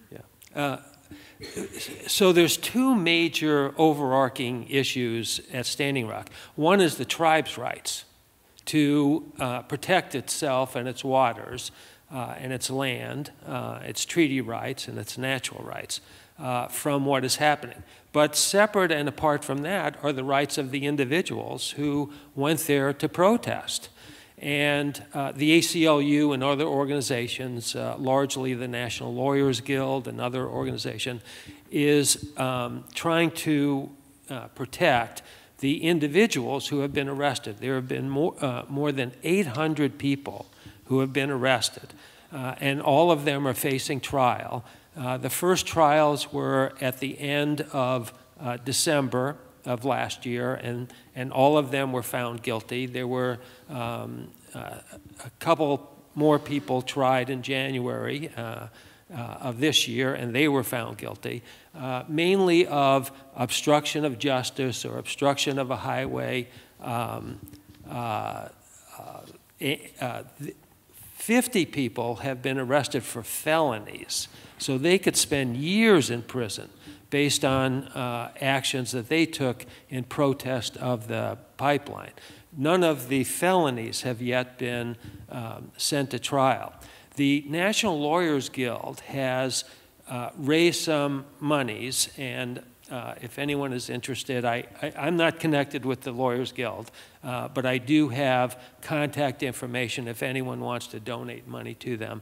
But they are um, helping to coordinate and find lawyers who are volunteering their time to uh, give representation to the more than 800 people who have been arrested and who are uh, facing trial. And it's, it's, of course, very difficult to, uh, in a remote area in North Dakota, to uh, find lawyers to come out there and spend some time in the winter in North Dakota and give free legal representation to these, these people. Stephen, But, but a concerted Yeah. effort is being made to do that. I think I spoke with you the day after I was listening to a webinar from, from Cannon Ball. And at that point, there, uh, uh, that evening, 40 people had been arrested, and by the next morning, the word came out that it was about 200 people had been arrested. So my question for you right now is, um, are there any people who are still in jail? Uh, And what was bail set at Okay. uh, for these? Okay. Uh, Fortunately, uh, yesterday afternoon, I was able to reach on the telephone uh, one of the two lawyers who are paid by NLG, the National Lawyers Guild, to coordinate the effort of assigning a lawyer to each person. And her name is Sandra Freeman, um, and she's in North Dakota and is spending several months in North Dakota. Um, and she told me that uh, bail has been now given to every single person. Uh, many people donated money uh, for that, and no one is now in, in jail. All of the people who were found guilty in December and January uh, were given suspended sentences, so fortunately that's good, and, and they didn't get jail time, uh, but they were fined and uh, are required to pay fines. So the, the good news is that today no one is in jail, but uh, the bad news is it. I'm sorry? Oh, There, there are four okay. who have no bail. There are three Okay. men who are still in jail. They are the ones that apprehended the, no, the DAPL security. Okay, And the well, government is going you've- against them. And uh, Red Fawn has no bail. So there are four who have no bail who remain in, in jail. Now, when you say have no bail, the eh, bail was set, but they just can't meet it, or, or they were denied there is no bail? bail. Their bail is denied by the judges. Oh, okay. Well, I'm glad that you have information that I Thank didn't. you. This is what Sandra uh, Freeman told me yesterday. Well, uh, it seems that none of us can be sitting still during any of this, and we all have to do what it is that we can. I'd like to open the the microphones up to questions. Before- And while before- you're, yeah, Before you go there, let, yeah, Is this on? Yeah. Okay. I, I just wanted to mention one thing that, um, because I think you gave a very concise kind of summary of the federal Indian law, typical kind of understanding of how things are laid out in terms of an explanation. What's, what's kind of missing from that account, however, is a very important piece of information that I can um, sum up very concisely that in 1954, in the case Tee-Hit-Ton Indians versus the United States, um, involving uh, whether or not the Tee-Hit-Ton Indians should receive monetary compensation for a taking of their timber, the main argument of the United States Justice Department was that they should not receive monetary compensation because historically the Christian nations of Europe had acquired jurisdiction over the lands of heathens and infidels. And even citing to Genesis 128 and the book of Psalms in their legal brief and made that argument before the U.S. Supreme Court. So the, the, the, the difficulty that I have with the, typical account of federal, federal Indian law is that the role of the papal bulls, the role of the English charters of, of subjugation and Latin terminology of that sort, um, and this religious warfare of Christian nations against non Christian nations is completely left out of the account of federal Indian law. And I think that's fundamentally important because that's what's beneath all this idea that you can just go ahead and disregard a bilateral agreement and unilaterally say, eh, it doesn't count anymore, and, and shove uh, a pipeline through uh, unceded territory of the Oceti Nation. So. yeah, thank you for bringing that up. Um, That's the um, Johnson versus McIntosh ruling of the Supreme Court. And um, it also accounts for why many of us grew up being taught that there was nobody here when Columbus arrived, because according to the papal bulls, the, the land was vacant uh, because it was uh, populated by heathens, even if it was 60 million. Um, So I thank you for, for bringing, bringing that up. Um, I'd, I'd like to point out, um, before we begin with questions, just that um, the National Lawyers Guild, I think, could use support if you are so inclined. And Kat Griffin is here, and I want to thank her. She's a member of the uh, Council for Feminist Art, and she's a gallerist. And she's been very involved with uh, invest, uh, investigating divestiture because one way um, that, one thing that has been very effective um, has been the divesting. And of course, Norway was the first bank actually to divest uh, three months ago. And out uh, as you're leaving on the, um, on the uh, table is some information we have take, we have gotten permission from uh, Kat's uh, uh, uh, uh, flyers that she put together on divesting for you to take if, if that can be of use to you. So now uh, let's open for uh, questions. Hello. My name is Robert Upham. I'm from uh, Fort Belknap Indian Reservation. I'm enrolled uh, Sisseton Wahpeton, Lake Traverse Sioux. Um, a lady from the Northwest named Janet McCloud, along with Audrey Shenandoah, they, they made uh, statements about power whether it be um, spiritual power or legal power. And they said that the Supreme Court, not the Supreme Court, not the Constitution, but the power comes from Mother Earth.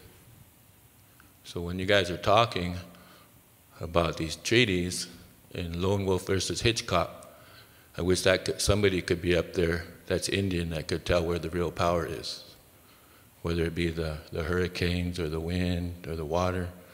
That that's there's a spiritual power, a spiritual law, and there's a man-made law. And I wish it would all, wouldn't always be one-sided, because as much as you guys reiterate stuff up there, we got people here that are learning things, and much like when we was in Standing Rock, there was people that wanted man-made instructions, but there's spiritual instructions there. And when, when there's non-Indians helping us, and there was many non-Indians helping us at Standing Rock, and they always wanted to know in their head what was going to happen next, not in their heart. And so if you really believe in spiritual power, that's what we have on our side as Indians. So as a, the gentleman was talking about treaties, we, we made those treaties with the pipe, with the spiritual power. And no white man's law can take that away from us, our side. I, unless I not, don't understand treaties properly, there's two sides to a contract. So just because a white guy decides not to obey their side of the contract, that doesn't sound too just for somebody to be standing up there saying, "Oh, well, it has no, it has no foundation." I, I, I want to say what I really want to say. like that needs to be said from an Indian perspective. Let me tell you what it means, guys that are here, you know, so, so, so not very long. I wish more things would be said about the 1803 treaty. Um, somebody told this to me that in 1803, when the United States wasn't even 30 years old, they made a treaty with the Sioux people when they did the Louisiana Purchase. They asked the Sioux nations to recognize them. They asked us now you got nations like the Lumbees and the Duwamish asking the United States to get recognized. But I, I, I, appreciate how many treaties we made, the number of treaties, but I would, I would love that to be so much stated about how they asked us for recognition. You see what I'm saying? So even us as Indian people, we ask the Creator to recognize us. And I heard like some of your foundations for your legal scholar your legal foundation has to do with separation of church and state. That's not the way we see the world. So that's what I want to say. Make statements however you want to.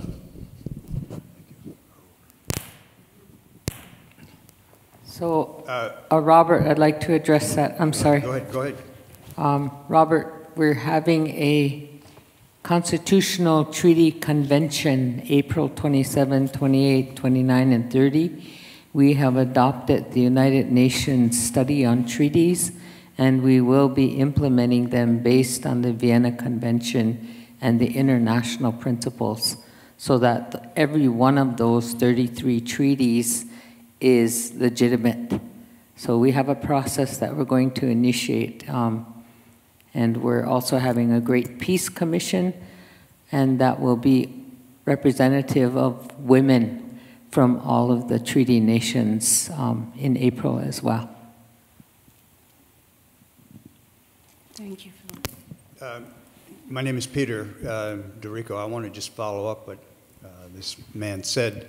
Uh, I think it's the spiritual question is clearly the the basis of what we need to walk away from here today. I'm thinking we hear a good panel, and thanks to uh, Sackler Foundation and Liz for putting this together. But uh, what am I supposed to do now? Go out and get a cup of coffee? Uh, am I supposed to think about anything? And I, so I think there's a couple of loose ends, and they relate to this spiritual question. Uh, one of the loose ends has to do with the legal aspect, and one has to do with a much deeper piece. Uh, just to uh, follow up what uh, Steve Newcomb said a moment ago, 1955. You all have heard of 1954 Board versus uh, the Brown versus Board of Education. Almost everybody has heard about that. The same court, 13 months later, decided Tee-Hit-Ton versus the United States. Steve already told you about it, saying the Tlingit people did not own their own land because Christian discovery gave it to the United States. The United States has its version, legal version of spirituality, which it calls Christian discovery. That was in 1955. In 2005, and now we're getting very close to the present day, 2005, Ruth Bader Ginsburg, wonderful, great liberal feminist justice, said in footnote number one, City of Sherrill versus the Oneida Nation, discovery gives power to the to, title to Indian land to the United States. That's in 2005. So the United States law on which all the statutes are based that people are using in litigation around Standing Rock, like environmental protection, national historic protection, all of those laws are premised on the same notion that the United States has title to the land. Why? Because it was Christian discovered. That's the, that's the Achilles heel of the litigation that's been going on so far. Standing Rock does not need to rely on U.S. laws of environmental protection and historic preservation. That's a fundamental mistake. Second thing, just to make a big leap. What else do I walk out of here this afternoon with? We have a dominating system that goes back 2,000 or more years, 5,000 years, however long it is since the Bible has been the Bible. We have a colon colonizing God. We have a God who said, I will give my people a promised land. It belongs to those people over there but you go kick those people out and kill them, and I will give you their land. And we have the three branches of that family, the family of Abraham. I call it the dysfunctional family of Abraham. We have those three branches of one family that have engulfed the planet Earth with their fight with each other over who gets God's promise to give them somebody else's land. So when I walk out here today, I have to think how deep this domination code goes. It's active in United States law today, and it's active in everybody's mind who's walking around thinking in that Judeo Christian Islamic framework. That's where I think we have to start our day to day, minute to minute rethinking. Thank you.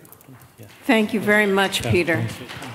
Thank you. So, so I'd like to sort of say something to Peter about domination. Um, also, the, the definition of the words we use, and I spoke about it earlier, but when, when we talk about reality, reality in its original etymology, real means royalty.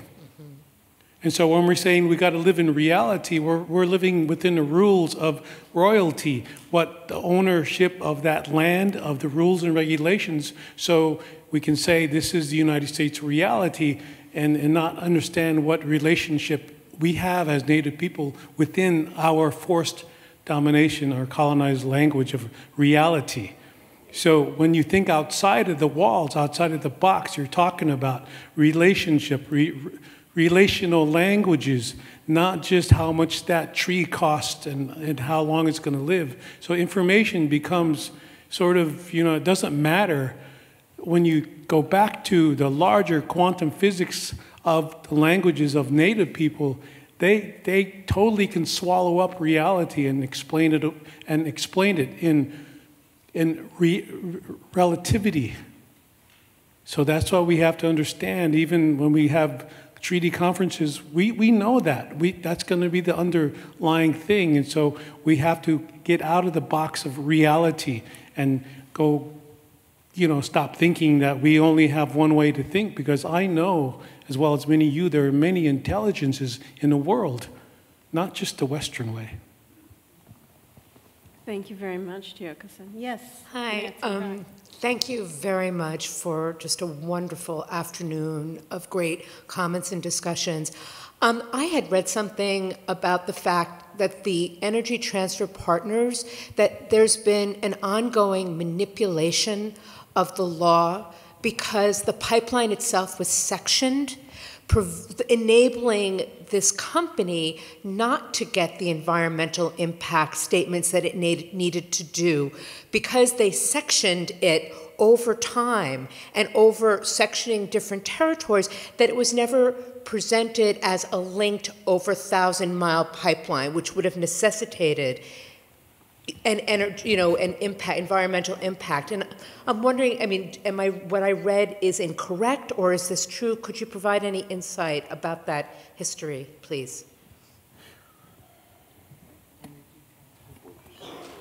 Section, was done in section by section by section, not the whole entirety. And and so they- therefore they were didn't able to require avoid by law. the EIS.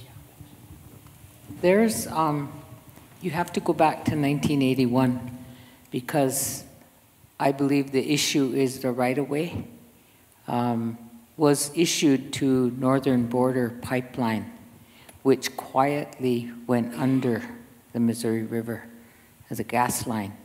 So we're attempting to do baseline study for benzene um, initially so that we know what the level is before the, the oil pipeline comes through.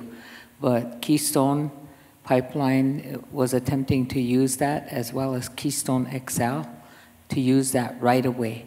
Um, there was never an agreement under um, the antiquities law or the um, ARPA or any other law that was required in 1981.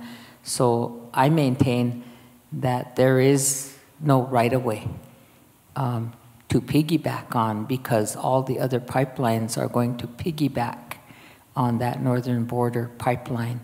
But there was no agreement with Interior.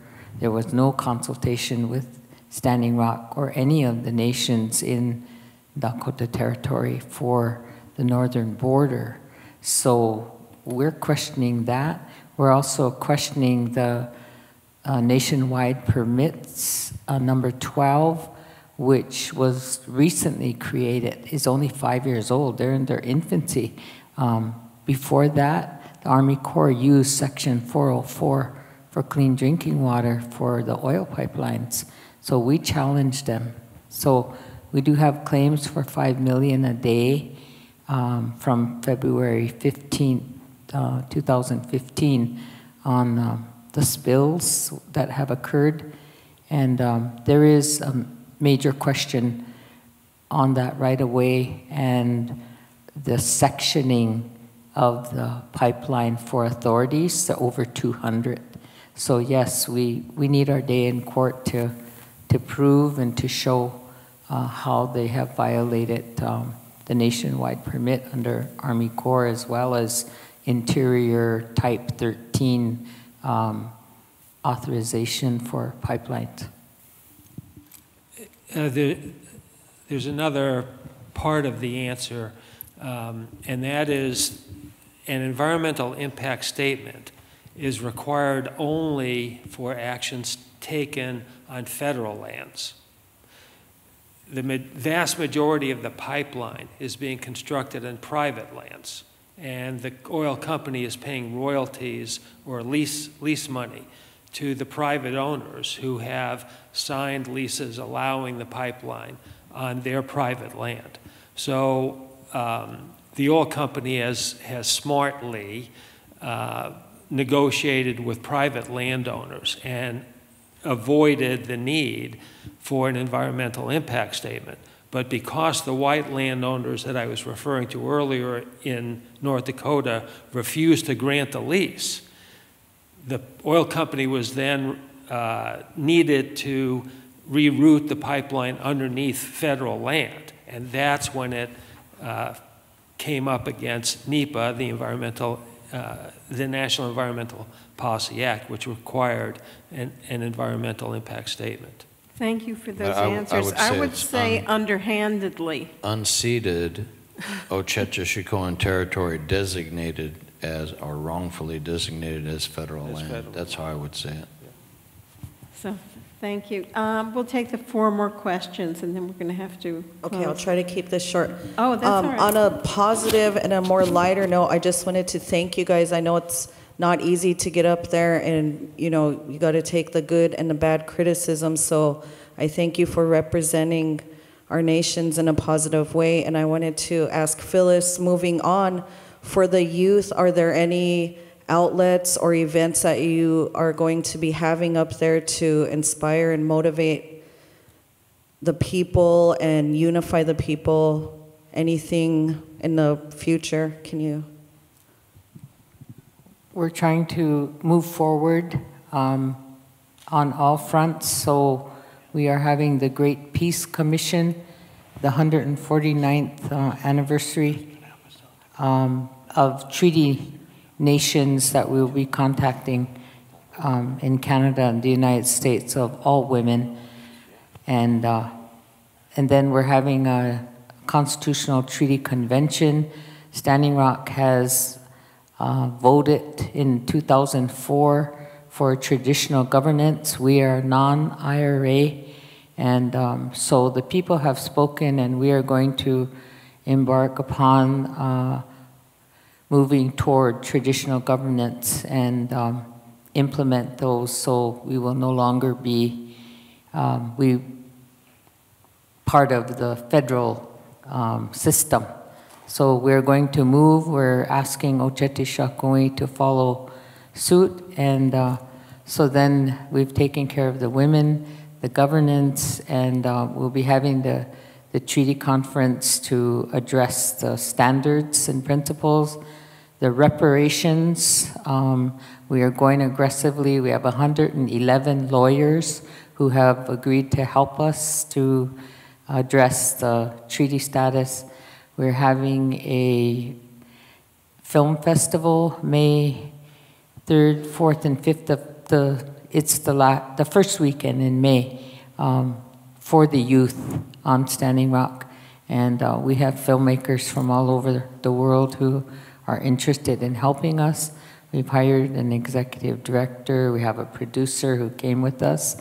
Um, and so we're going to uh, incorporate a lot of history. We're going to be showing the hundreds and hundreds of um, films of and the documentation of what has occurred in the last year. We're going to infuse uh, history, uh, the seven um, sacraments, if you want a bad word in front of Steve. Um, but the seven principle, the value system that we have, we have kinship rules. All of those those principles that have been prohibited uh, to generations, we are now we have them on CD. We have we will have them on film. We think it's a good uh, initiative for America on how to treat your children, how to treat your husband, how to treat your mother-in-law. Um, so we have some beautiful principles and standards that we can offer. So that's all part of the film festival. We will have, this will be the first inaugural film festival, and um, we will be moving, it'll create its own identity and website. So we're doing that for the youth. In June, we're having a water summit to address the water rights and to address the question, terrible question of quantification which we do not believe in in our society. So, but how do we, how do we tame that wild imagination that Indian rights don't belong to us? Uh, we hold title to the entire Missouri River, um, to the headwaters of Montana, to the tail um, of the of the river um, when it meets the Mississippi. So we're going to push and shove, and uh, we believe that we, we know who we are, and we are going to aggressively um, take on so, through social media and otherwise. But we have a great, great uh, plan for the film festival for the youth on Standing Rock in May, and the water tri- the water summit in June. Wonderful. Morningstar, thank you for the question. And I think you got some wonderful answers. I hope you're taking notes. Yes. Hi. First, thank you all for being here. Um, it seems to me that, oh, thanks. It seems to me that uh, the native spirituality is helping to keep this land, Turtle Island, U.S., whatever you call it, more peaceful. Um, I just finished a powerful book by Mark Curtis called Secret Affairs British Collusion with Radical Islam, which goes on and on and on to explain for like over 75 years the collusion of Britain with radical Islam, includes Saudi Arabia, eventually the US, and we see the chaos and it's around the world with Middle East, the Balkans, you know, predominantly because of oil and natural gas. So when I think about what's going on here, as brutal as some of the treatment has been at Standing Rock, comparatively, it seems rather peaceful.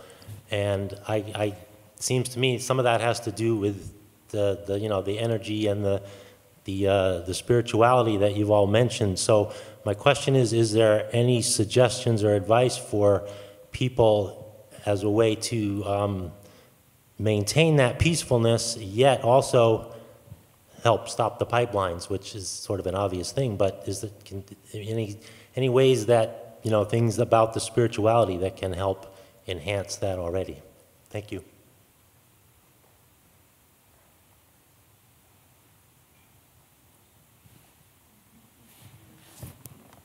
I told you I really can talk long in English. um, first of all, our movement was based on peace and prayer. And as I stated earlier, it took us a lifetime to get here. We took back our, our spirituality. We had, uh, we had four sun dancers in 1974 that defied the government policy and they sundanced publicly for the first time at Greengrass in South Dakota. And um, he stepped out. But there was a young man here, who, a young man then who was only 17 years old. There were four of them Russell Means, Ted Means, Ed McGaa, and Mitchell Zephier. They were the four sun dancers they were the front line in our spirituality in 1974. They defied the policy publicly and they danced. And it was the beginning of the new freedom that we took back to worship in our own way. We are the most beautiful people in the world. We have the most beautiful language that is flowery and spiritual. Even a gun is called holy bad. Waka shicha, a gun. All of our language is derived from Tunkashila, Wakantanka, Waka, children, Wakaisha, sacred beings. We're taking that back. We have lived and survived under the conditions of colonialism and all the social pathologies that came with it. How to beat your children, how to send them to boarding school. Three generations under that prohibition were in boarding school. Three generations have undone it. And we're going to move forward in a spiritual path. We have a lot to offer America in terms of new, new ways, kinship rules, respect, dignity. We have a beautiful, beautiful way of life. And so, yes, we asked, we asked everyone who came to the camp. We did hunka, which is one of the seven, seven values that we hold. We adopt in, we do not adopt out. So we are the only people in the world who can pick and choose our own relatives and we take the best, the most intelligent, the hardest workers, the ones with the biggest hearts, and we have the best relatives. So we have hunka, and we made hunka with everyone who came to that camp. And we showed them how to pray at our fire, how to respect each other. We are not under constitutional kings, so you cannot use your your foreign languages here. So we taught lessons every day. And we told them to go out in, back into your communities. You are now our relative. Spread our way of life, our spirituality. Pray. There were people who came who, who did not know how to pray. There were Christians who did not there were people who came that didn't know anything about being Christian. We have a gentleman who's coming back to be baptized in the Christian way. So we're sponsoring him. So likewise, we, we sent the word that to share our way of life, take it with you and pray every day because it's spirituality, it's not religion, which is a God box on the street corner. that you go once a week and you say, I did this, I'm sorry, and go back and do it again. Spirituality is free. It's every way that you can pray. It's any time you can pray. When you wake in the morning to the morning star, in the evening to the evening star. So prayer is everywhere, all the time. And so that's what we embrace. And you can share that with yourself and your family and take it with you. So, yes, we are going to missionize our way of life. Thank you. Yes.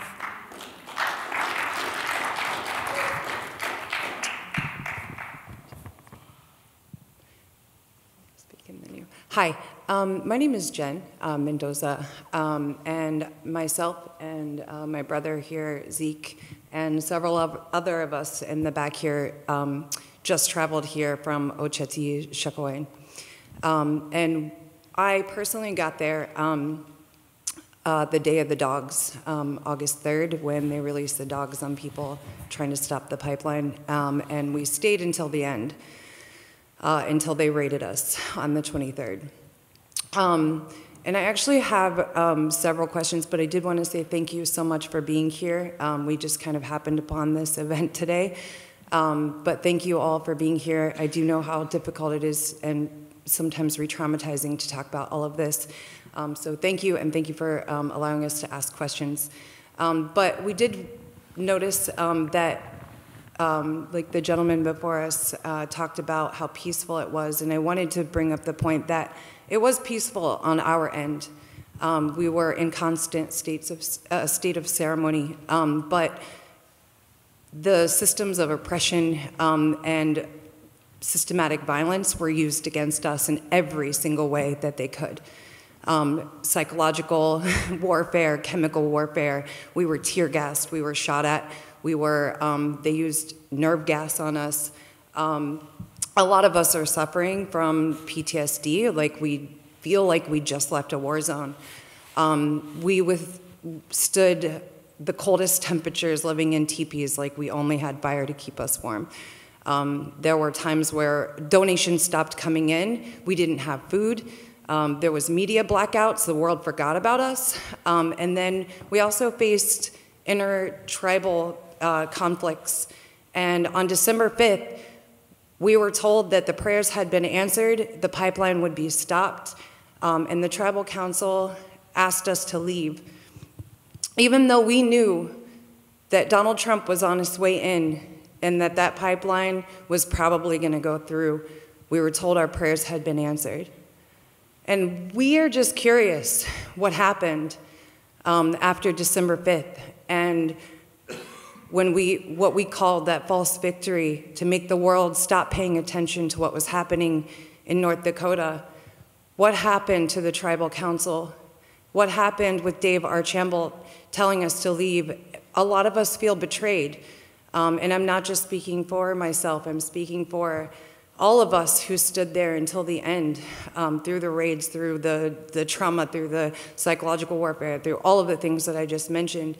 Um, what happened and how, how do we move forward in this movement when we were asked to come and protect that water, to protect treaty rights, to protect um, you know, the sovereignty uh, of indigenous people or original nations people um, when we're up against the, fighting ourselves. So that's a really difficult question, um, but that's something that we're all carrying in our hearts um, and in our minds, and uh, we would we would love clarity. And if you want to add anything to that. All I want to ask is, where was the help? We all needed help, emotionally, physically, and mentally. We all needed help. Where was everybody? Like I understand some people have their lives to live and that there's they places to be, things to do, but any help helps. We'd be grateful for the help that people had to offer. I just want to ask, where was it? We have all these great, wonderful people in this world, but we just didn't have the means of getting the information out to these people who could help. So why is that? Why is it that they did this to us? Our own people. We're people who live here with everybody. Everybody of all colors. We live with them. We respect them. So why won't they respect us? Why is it like this? That's all I got to say. Thank you. Could, could I respond? no, I will. I was part of the camp coordinator, and when from the time we started those camps, every every aspect that or every social issue that you have in a community was there. And people came and went. You know, we are a mobile people. We didn't go into the either camp to start building homes, to start digging in, um, to settle. It was not a settlement. Uh, we're not the Gaza and uh, trying to make permanent settlements. Um, the, tr the tribal council set up a winter camp. It's still there. No one went there. No one took advantage of that.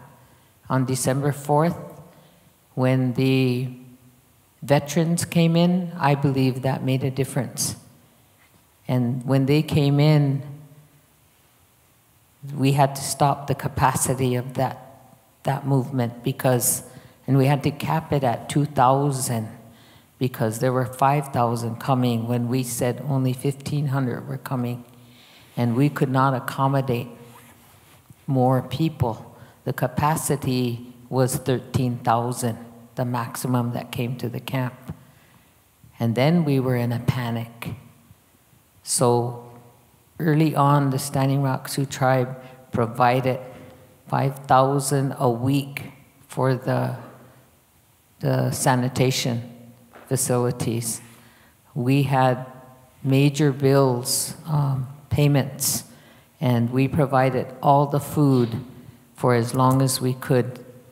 Um, when the we, we had two ceremonies. One was for the Wakinyan Oyate to come, the weather, the thunder beings to come and help us. We had six snowfalls, actual blessings that we felt, but overwhelming snowfalls, the most snow in the state of North Dakota in 11 years. So that had a tremendous impact on our communities. We are rural. We have communities that are, two communities that are 50 miles away from headquarters. So our, our people didn't have um, the necessary, the road clearings. There were people, we didn't have a we usually have snowmobile to take out the sick people, to take them to the hospital. We didn't, we were lacking services within our eight communities that the chairman had a priority to. And he was facing a million dollar fine for every month that Oceti was there. But he provided, the tribal council provided a winter camp going into Cannon Ball a whole 80 acres where those two towers were. No one came there. No one took advantage of that winter camp. No one didn't want to move from that flood zone. So when with that much snow, the potential for flooding in that entire area would have jeopardized the entire camp. So I give credit to my tribal chairman because he had an obligation to his community to the entire Standing Rock, and he had accommodated longer than we anticipated to be in that camp. We didn't know that we were going to be there for eight, nine months. And as people came in, came out, drugs were there, alcohol was there. We fought it from day one. We fought the internal, the intertribal the, we took the best care of the people that were there. And when the, when the tribal council went on record to move back out from the, we didn't have the money. The tribe was not getting the money.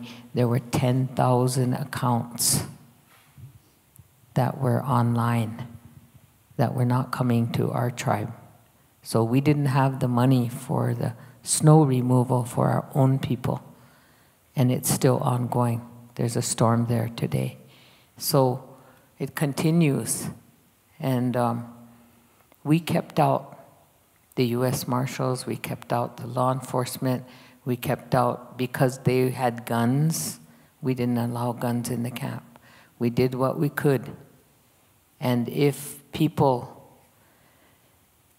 we did evacuation plans, we provided for, uh, we consolidated ac activities with the churches, the local ministries, so everyone who was in the camp had um, uh, bus tickets and gas money and food money to go home, repair of vehicles. So we I, did. I don't want to interrupt, but I don't know if you know this, but those things were not properly distributed to the people who had given up everything. Um, their jobs, their homes, their families, everything. There were people there that had literally the clothes on their back, and those things were not distributed to them. I, I don't know if you know that. So I didn't. We didn't have. Um, I had to move out of the camp. I, I work for the tribe, and um, we did the best we could. We never envisioned that there would be that many people and this long a time and we were ready to fall over after eight months. So we're human beings. That was a human conditions that we had to endure. And uh, I apologize to you if you suffered in any, any way and that you made it to, to New York. Um, thank you. I'm sorry, Robert. You can speak. Well, I was there, you know I was there. I believe in my spirituality. My daughter suffered from cancer at one time. at a time I needed to claim her, her healing. And if I am a warrior, if I'm a spiritual warrior, whether I go through Sundance, I've been, as you read Peltier, my life is Sundance, I don't pity Peltier. Peltier don't even pity himself, as long as he's been in prison. Nelson Mandela also, when he was in prison, he was, in his head, he was president. In his head, he was planning on, on switching around authority. He claimed, our Indian people claimed that, what we're going to come to. If you're going to be with us, you need to own victory. Don't come here with us as you're praying. As if you were to Sundance, you'd be crying about being hungry. We don't do that when we Sundance. We pray. You're here with the Sundance and sacrificing your time, your job, my job too. I had an art gallery. I had grandkids to go home to. Thank you for relieving me to let me go home. Water protectors, if you really are certain in ceremony, you don't go home. I know it's even hard to go back from a Sundance, but that's a good thing. It's hard to re-engage in New York City when you come back from a Sundance, but that's coming from a good thing. Do not take our spiritual movement and taint it by you being wounded. If you're not powerful enough to be there, don't be our ally. So my I'm, go- I'm is going more- to have to slow us down a little bit. I, I'm sorry. No, I'm not, wait, I'm not, wait. I'm not slowing A you short- down. a short statement.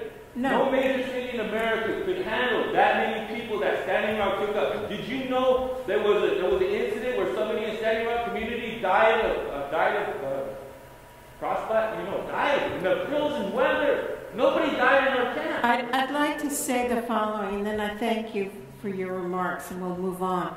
I'd like to say the following, and that is that I think that all of us, whatever religion, whatever peoples, whatever communities we come from, if we are conscious and aware, we know that the road ahead of us is not going to be easy for any of us.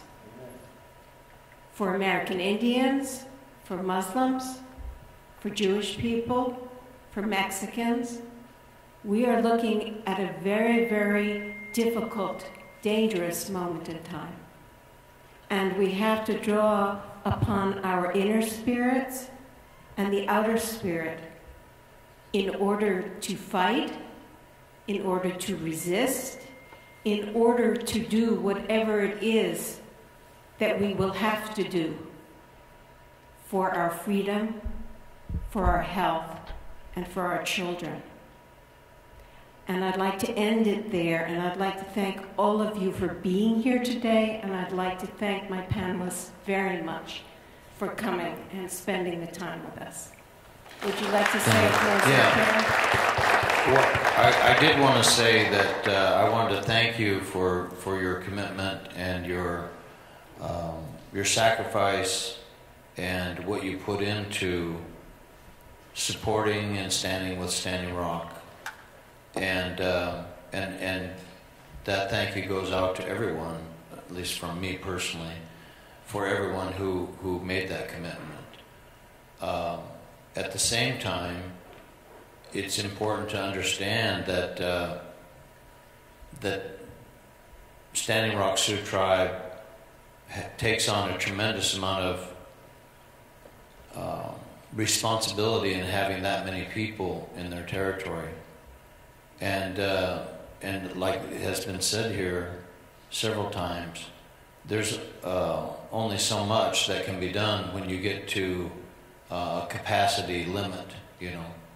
So I, that's, that's all I want to say, but I did want to at least make that statement to acknowledge what you did do uh, in your commitment. So thank you. Thank you for saying that. And I just wanted to like reiterate that my question was more of a political one and combating Yes, the that. like tactics of the enemy Yeah. moving forward rather than you know anything about my personal trauma. I, Yeah. It's not about me. So maybe if we could talk later or something. Okay. Thank you. Thank you. I would like to present traditionally to each of you a blanket for being with us today.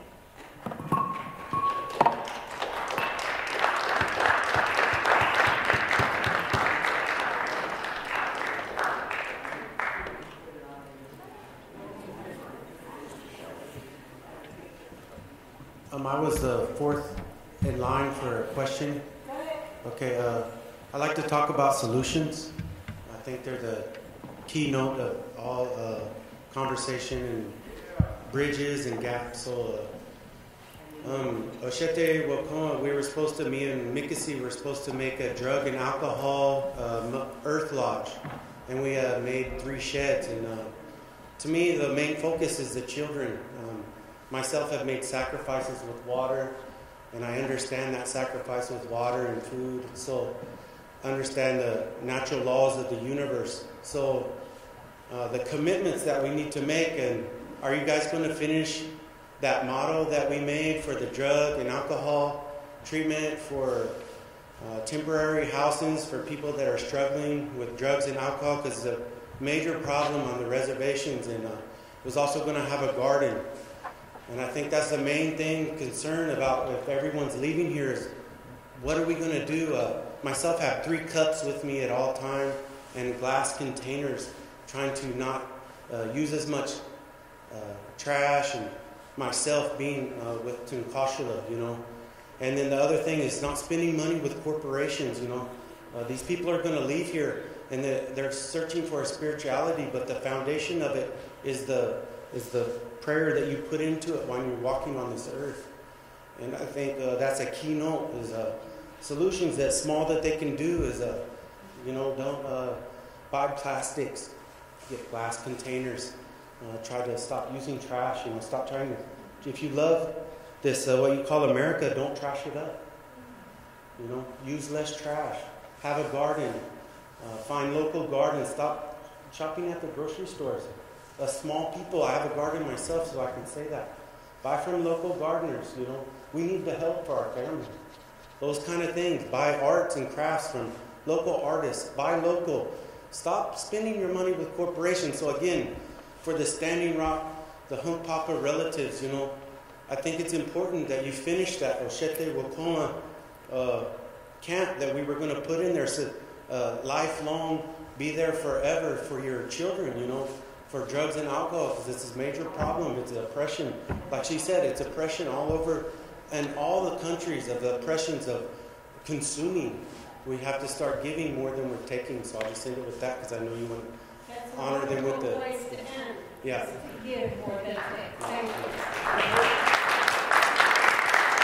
Can I say one last thing, real quick? Uh, one thing I forgot to mention, and along the lines of, of what this gentleman had just said, in terms of uh, attempting to shift our thinking and our behavior, we have a movie out that I co produced with Sheldon Wolfchild called The Doctrine of Discovery Unmasking the Domination Code. And you can get it at 38plus2productions.com. So I just wanted to mention that, a, a selfless plug. Thank you very much.